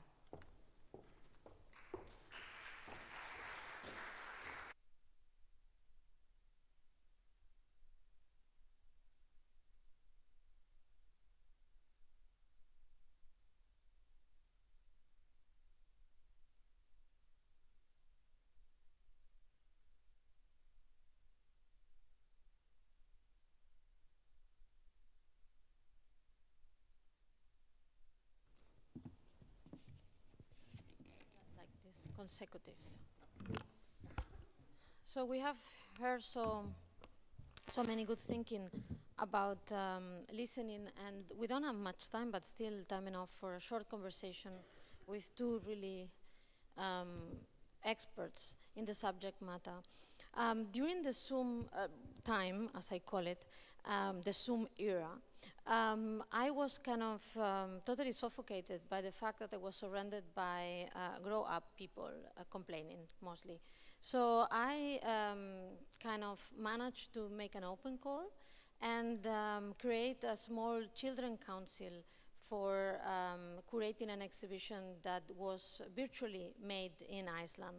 And in one of these encounters that took place on Friday's afternoon with uh, my curator colleagues, that they were in between uh, 10 and 12, uh, we watched a video by, by a marine biologist talking about how uh, the language of whales happen.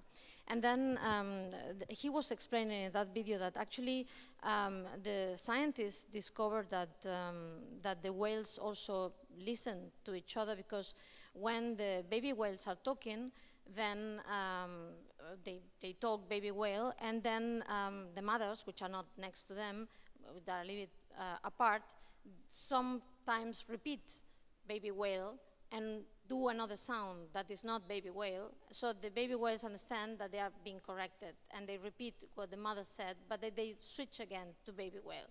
So we were really surprised and we're like totally mesmerized.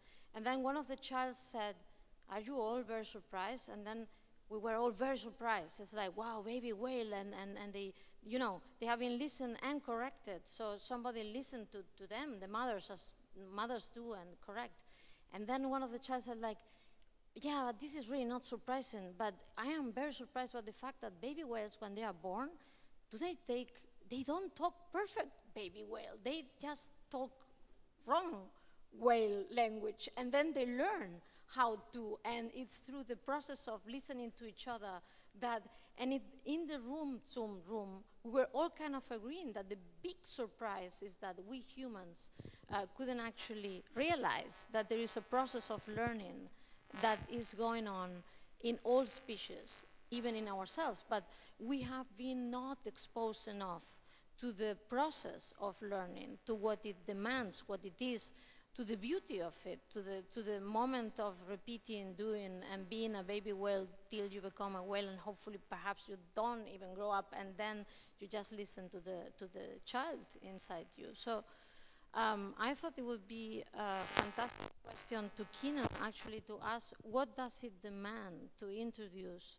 uh, those processes in the very process of learning, the process of listening, and how can we actually invent new spaces that are not based in providing the right answer only or at all? Yeah, thank you so much. Um, and I'm really uh, grateful because I feel like this is such a courageous space. I'm really grateful to the foundation for making this space. I was really enjoying your story.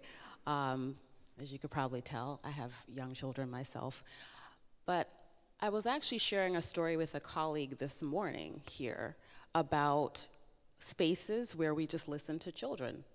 And one of the opportunities I've had to see that is in something we call the documentation studio that we had at Wheelock College for about a decade. And the activity actually originated in Italy here, ironically, where the idea was to have children play or resolve something among themselves and just watch and listen. And then it's documented by video so that you're not interacting with them.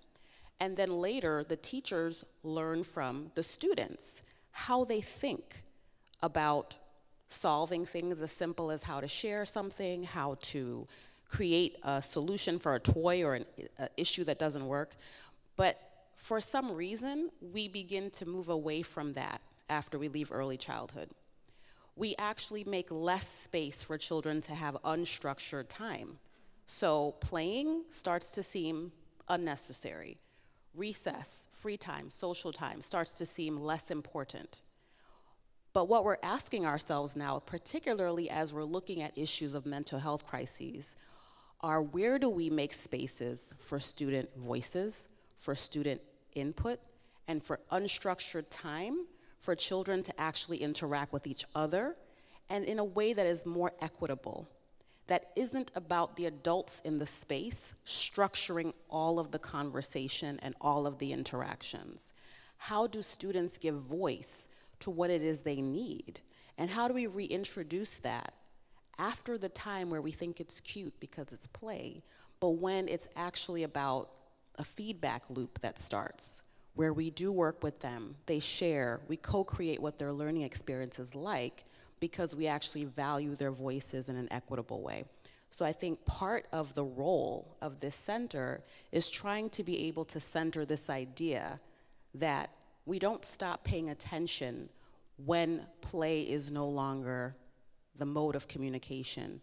Sometimes we don't hear the things we're expecting or want to hear, but as we start to center the feedback and we listen more to young people and we listen to our future leaders, I think we will really make more progress in actually understanding that unstructured spaces and just listening actually will help us to really understand what is necessary. And we've heard that all throughout the morning about knowing what's necessary for the ocean, for us to survive, for us to live.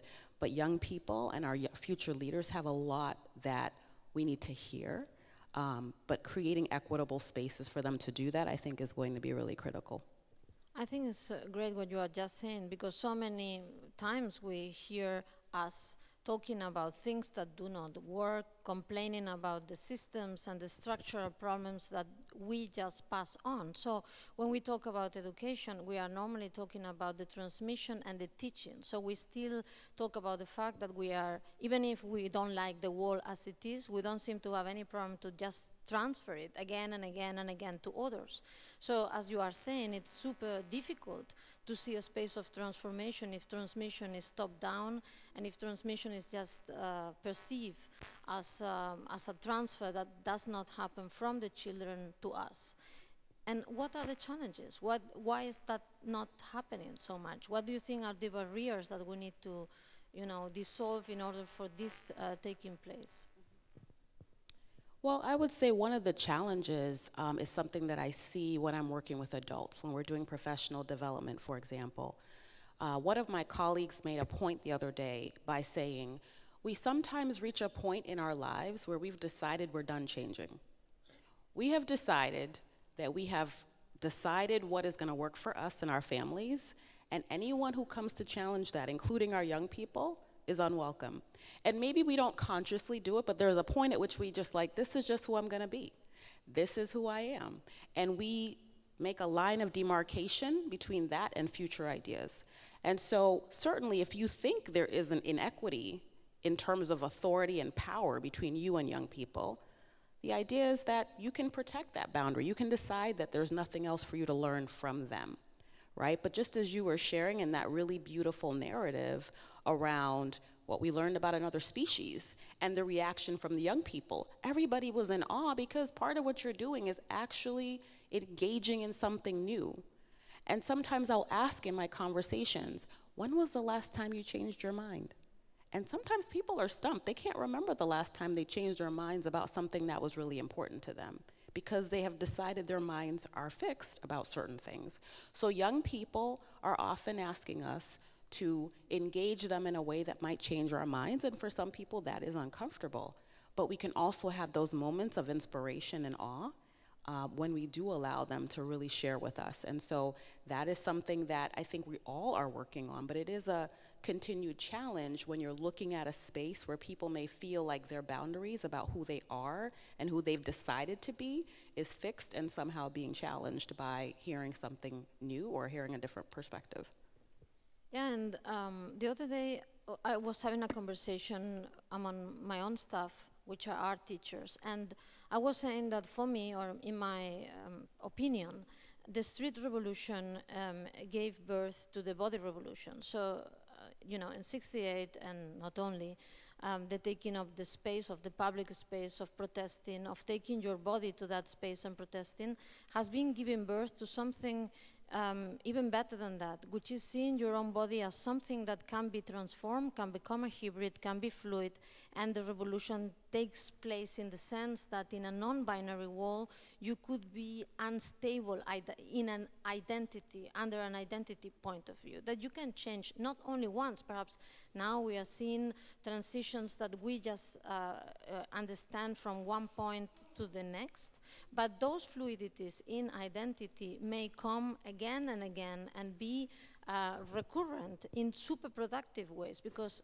at the end of the day, uh, the question of uh, the fluidity in gender, for example, corresponds to the desire of morphing, of becoming, as you say, of learning. So if you learn through life, you may not be the same gender, the same identity when you are born as the identity that you acquire uh, later on. So the right to transform and being socially perceived in that transformation is actually a space of pedagogy, a, a space of seeing a positive uh, transformation in the eyes of others. And um, you, Francesco, you have been, um, and you are a researcher in sound ecology and fluidity and the unmaterial is a super important part of it. So the interaction in between things we see and things we don't see, but perceive and transform and alter um, our mind and consciousness. So what do you think are spaces still that, you know, how do you see that, that we can transform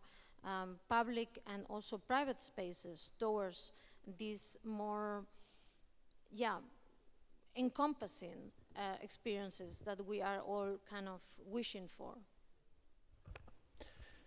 Mm, thank you for your question and for the invitation as well. Um, I would like to start uh, a little bit from afar I changed my mind many things about uh, what uh, uh, I could uh, say today to contribute to this debate and to this presentation. And um, I changed my mind many times during this event because I've been listening and listening. I, I changed my mind. This is something that often happens to me. uh, I don't know if it's a fortune or not. Most of the cases, it's not really a fortune, I have to say. But um, uh, I was uh, thinking when you just was uh, talking with Giuseppe Penone about uh, um, one thing uh, that regards the, the, sculpture, and that is also uh, an important, uh, still uh, fundamental exercise of problem in philosophy and in perception, um, which is it, has to do with the uh, definition of sound, but uh, uh, it also implies listening, because there is this, the, the question is, um, if in a forest a, a, tree falls, but there is no one listening, does it make a sound? So there are very different um, answers to this question according to um, disciplinary fields to philosophers. Um, we can find uh, uh, different uh, answers also in recent books about sound and about listening. Mm, two recent books are François Bonnet, The Order of Sound, and an Italian book by Elvira Di Bona and Vincenzo Santarcangelo, which is on sound, with a very philosophical take. Um, so um, I leave aside the, the, the problem of uh, thinking about what a sound is, but uh, uh, the act of listening uh, is anyway what makes things present to us. But I think that after visiting this sculpture and listening to you, uh, there are also other questions that arise. So, um, uh, are there sounds, but uh, is there the possibility of listening also if the tree doesn't fall? Or when it has fallen? and is the tree capable of listening? Um, in this case, of course, we, I think we agree that uh, a tree is capable of listening and we can think about listening in many, many different ways, of course. But uh, uh, I think that these uh, metaphysical problems really uh, resonate with, um, uh, with many of the things that have been said uh, this, this afternoon. And about your, your question, um, I think this is part of the answer. So um, being uh, open to listening, but also uh, being aware that uh, everyone and everything around us is listening. So being aware of the of the context and of uh, of, what Gestalt psychology calls the background, because the tree that falls is the figure, but there is also the background which uh, causes maybe the, the tree falling. Um, I experienced a little bit, um, if I'm going too long, please stop me. okay. Uh, I've experienced a little bit the, the, the, the question that you are um, uh, given to me because as a student of architecture, I realized that uh, um, almost no one of my teachers uh, told me about uh, how to take care of how the spaces could sound and could uh, uh, mm, provide a designerly approach to uh, interaction with the space, with the materials, and also with the other people inhabiting the space, unless it is a concert hall, maybe. Um, well, um, I started to investigate by, by myself somehow, and I discovered that there were not many books about this, but today there are a lot of books about this. There are many colleagues who are working in this field, in some cases uh, struggling also to find uh, their own position, um, because somehow this kind of uh, studies uh, is uh, considered, let's say, borderline, at least in Italy. Mm, the same goes for, I think, some of my colleagues with whom we are trying to, to build a research unit at IUAV, the university where I'm, where I'm currently teaching, teaching as an assistant professor. Um, so some of us are still struggling to find our own position from different disciplinary point of view. But I think that research and education also in the university uh, is one uh, important uh, um, place and one important uh, uh, take on, uh, on your question. So we see that students' interest is growing towards sounds. I see it even if I teach drawing. So my students at the first year draw by hand, so they just start observing things. I think that uh, uh, observing uh, also can be maybe considered as a synonymous of listening in the, in the way we are considering it right now. Mm, and uh, we, I think one important thing is to try to make them aware of the relations between visual and oral culture, for example. Uh, we all know that we live in a mostly visual uh, world, not only, uh, obviously, but we are, uh, we have more instruments, more tools to um, uh, understand uh, and criticize the visual artifacts around us than um, oral uh, artifacts. So it's much easier to be um, deceived by, by sound. And uh, one of, this is one thing. And the other important thing, I'm finding it in, uh, in the arts, uh, especially when mm, the arts meet um, communities uh, with a political, in the most noble uh, acception, of course, way and uh, I'm thinking about uh, um, artists and mm, very few curators like you who are um, considering uh, the practices of listening for uh, uh, for the people and for uh, for the community in Italy. I they are not the only two associations, but there are I think two two important associations that are doing this kind of work which are standards in Milan and uh, Mu in Cesena. Mm, they are uh, composed of uh, mostly musicians and artists, but uh, um, with very uh, small devices somehow. We could call them poor devices uh, if, we, if we want to force a relation to, uh, to, to, the very important work by Giuseppe Penone, which is important also for these persons, of course. Um, very poor, like a stone, uh, like a piece of uh, wood, um, and trying to explore the possibilities of, uh, uh, of those materials, but also of, of common spaces. Uh, for example, by taking uh, workers who have been in a, working in a factory for uh, 10, 20, 30 years uh, to listen to through microphones and to interact by listening also with the environment which comprises persons also around them.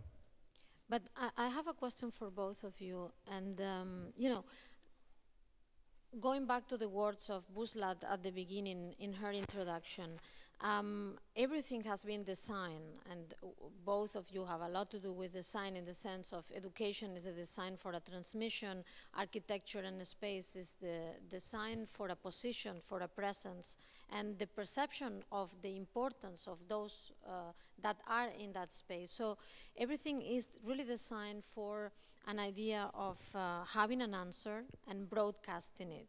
The answer needs to be right. The broadcast will be successful. Leadership is based on the possibility of uniqueness. Exceptionality is everything that distinguishes and makes um, the idea of, uh, of the possibility of following, of having a vision, for example.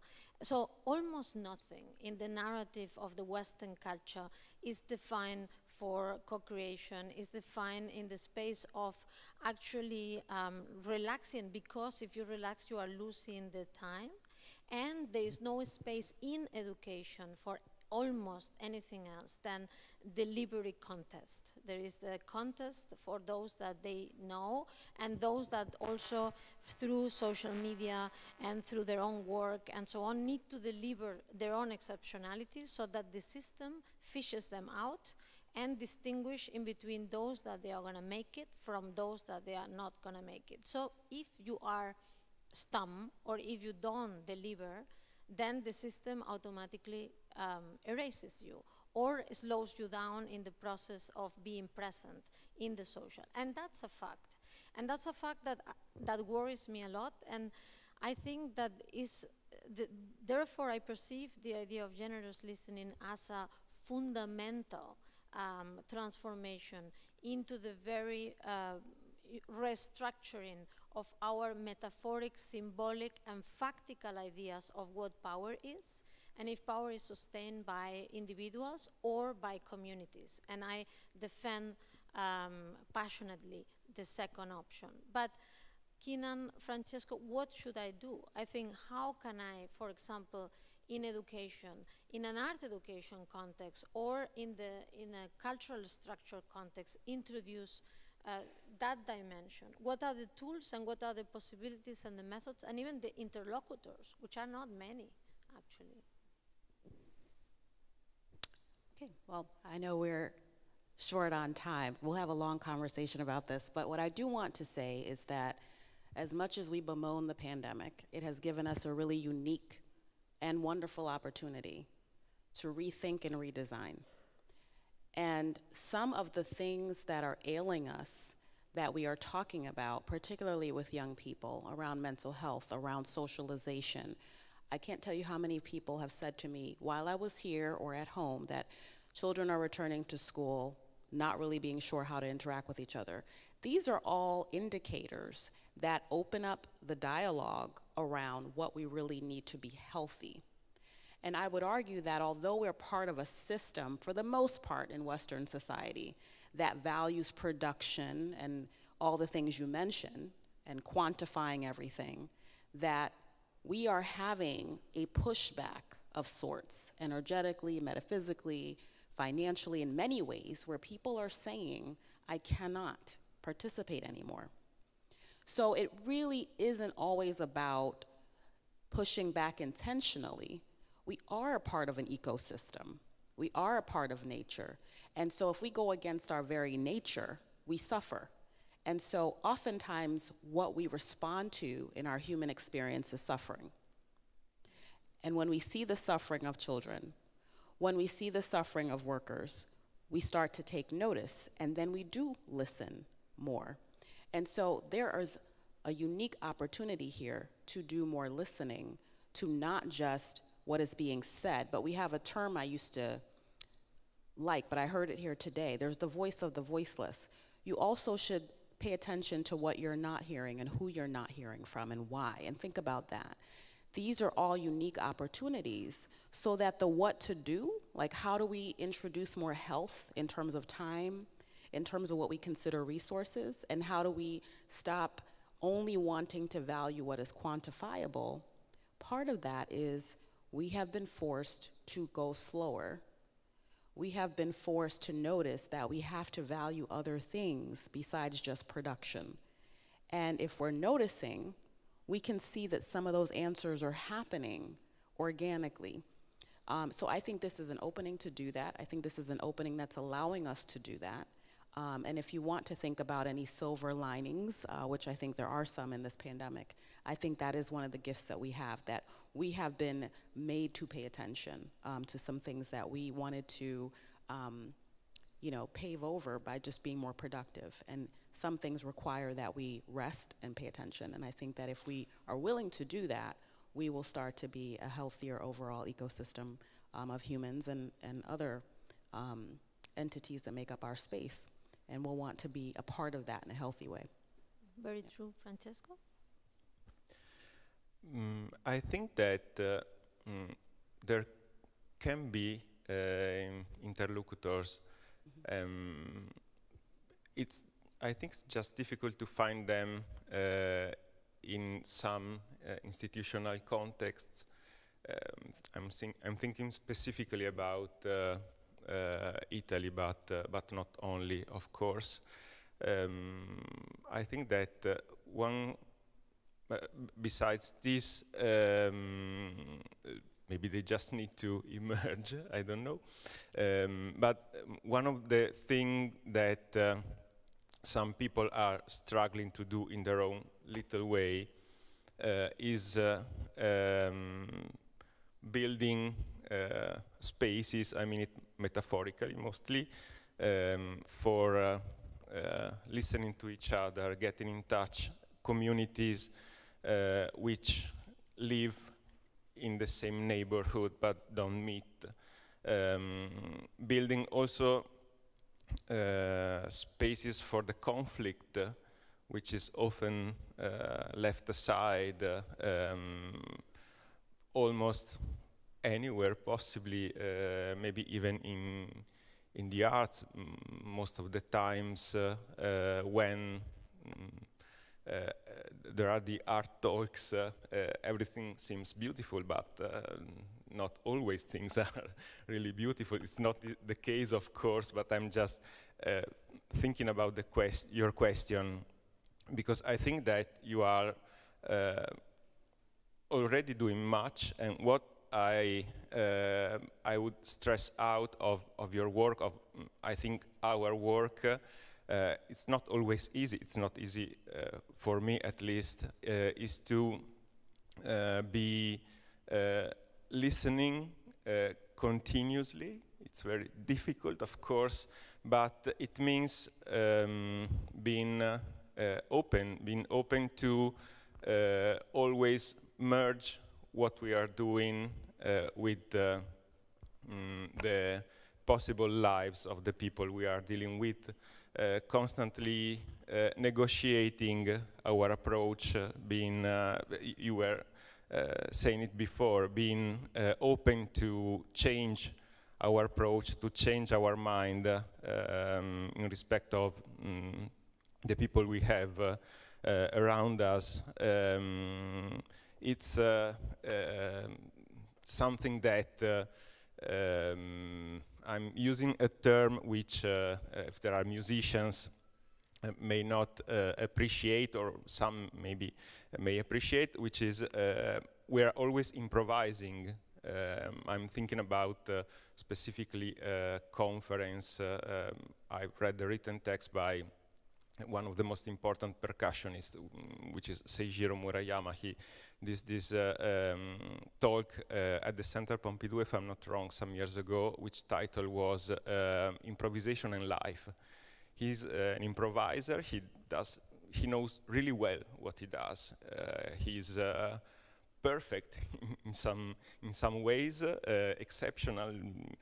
Mm, but he, what he does always um, responds to the place where he is and to the audience. So it can never be the same because it's always uh, negotiating uh, second by second uh, what is happening uh, when he is uh, playing or, or teaching with the persons and the space around. So I think that this um, openness is uh, an attitude and exercise. And I, I like this um, adjective generous because obviously this uh, attitude could have uh, many um, many aims. one could use it mm, to to become stronger, uh, to make the other uh, more uh, more frail. But we, um, I think that the idea of doing the best that we can to um, consider ourselves and also the other species uh, as a community is what uh, is what we can do.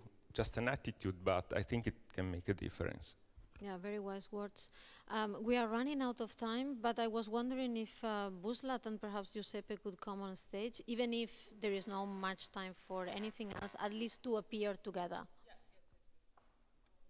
Um, thank you very much for all the speakers. I would like to invite uh, Vuslat and Giuseppe Penone and İnci Eviner on stage for some closing remarks. Um, I am the director of the Vuslat Foundation, and um, thank you for joining us at the Generous Listening Symposium today. We would like to hear your questions, but um, if you can please send them via uh, social media, via at Generous Listening from Instagram, it would be great because we would really like to hear from you. If Vuslat and Giuseppe Penone and İnci can come on stage for closing remarks, that would be fantastic. Yes. Just, yes, to be on stage and to say goodbye. It's like a family picture.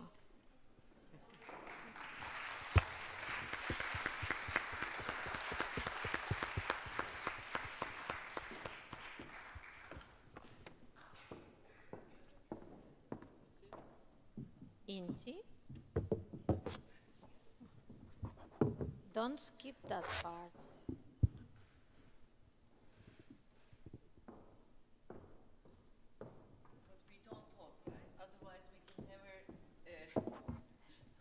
We do talk, but uh, it's only we don't have much time because we need to unfortunately close. But perhaps there is a sentence or, or a thought just to to close this. And uh, you know, you are the initiator, so perhaps you have something to say that we can take home.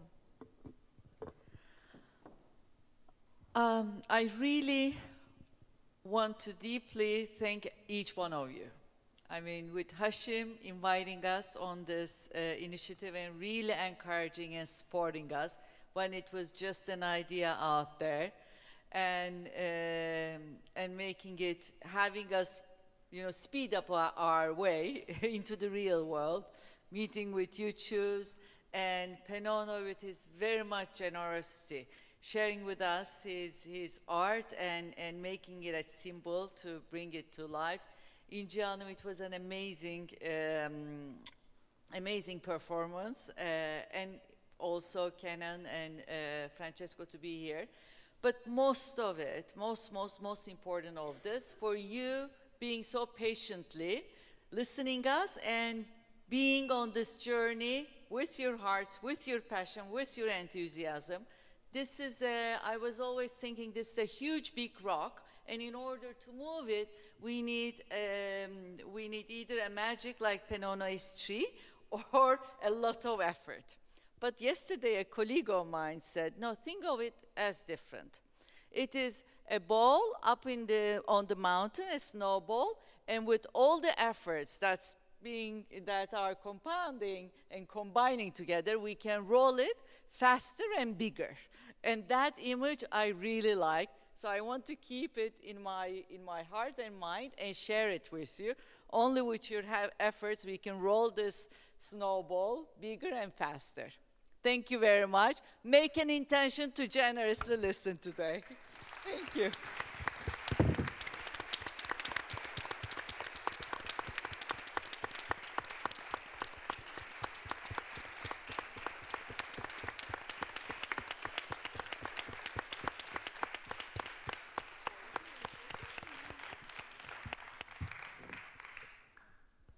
So thank you so much. So we close it here. so yeah, Giuseppe, you want to say something?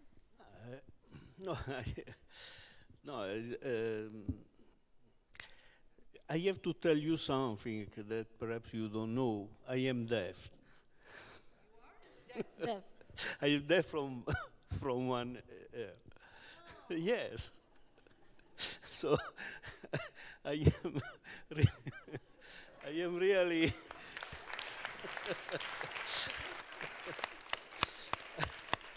I appreciate a lot to be a keynote in a list.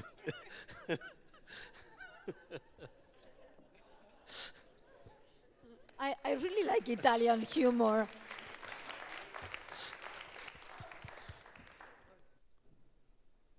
İnci? Ah, thank you for listening. And also, I am very happy to listen, all of you.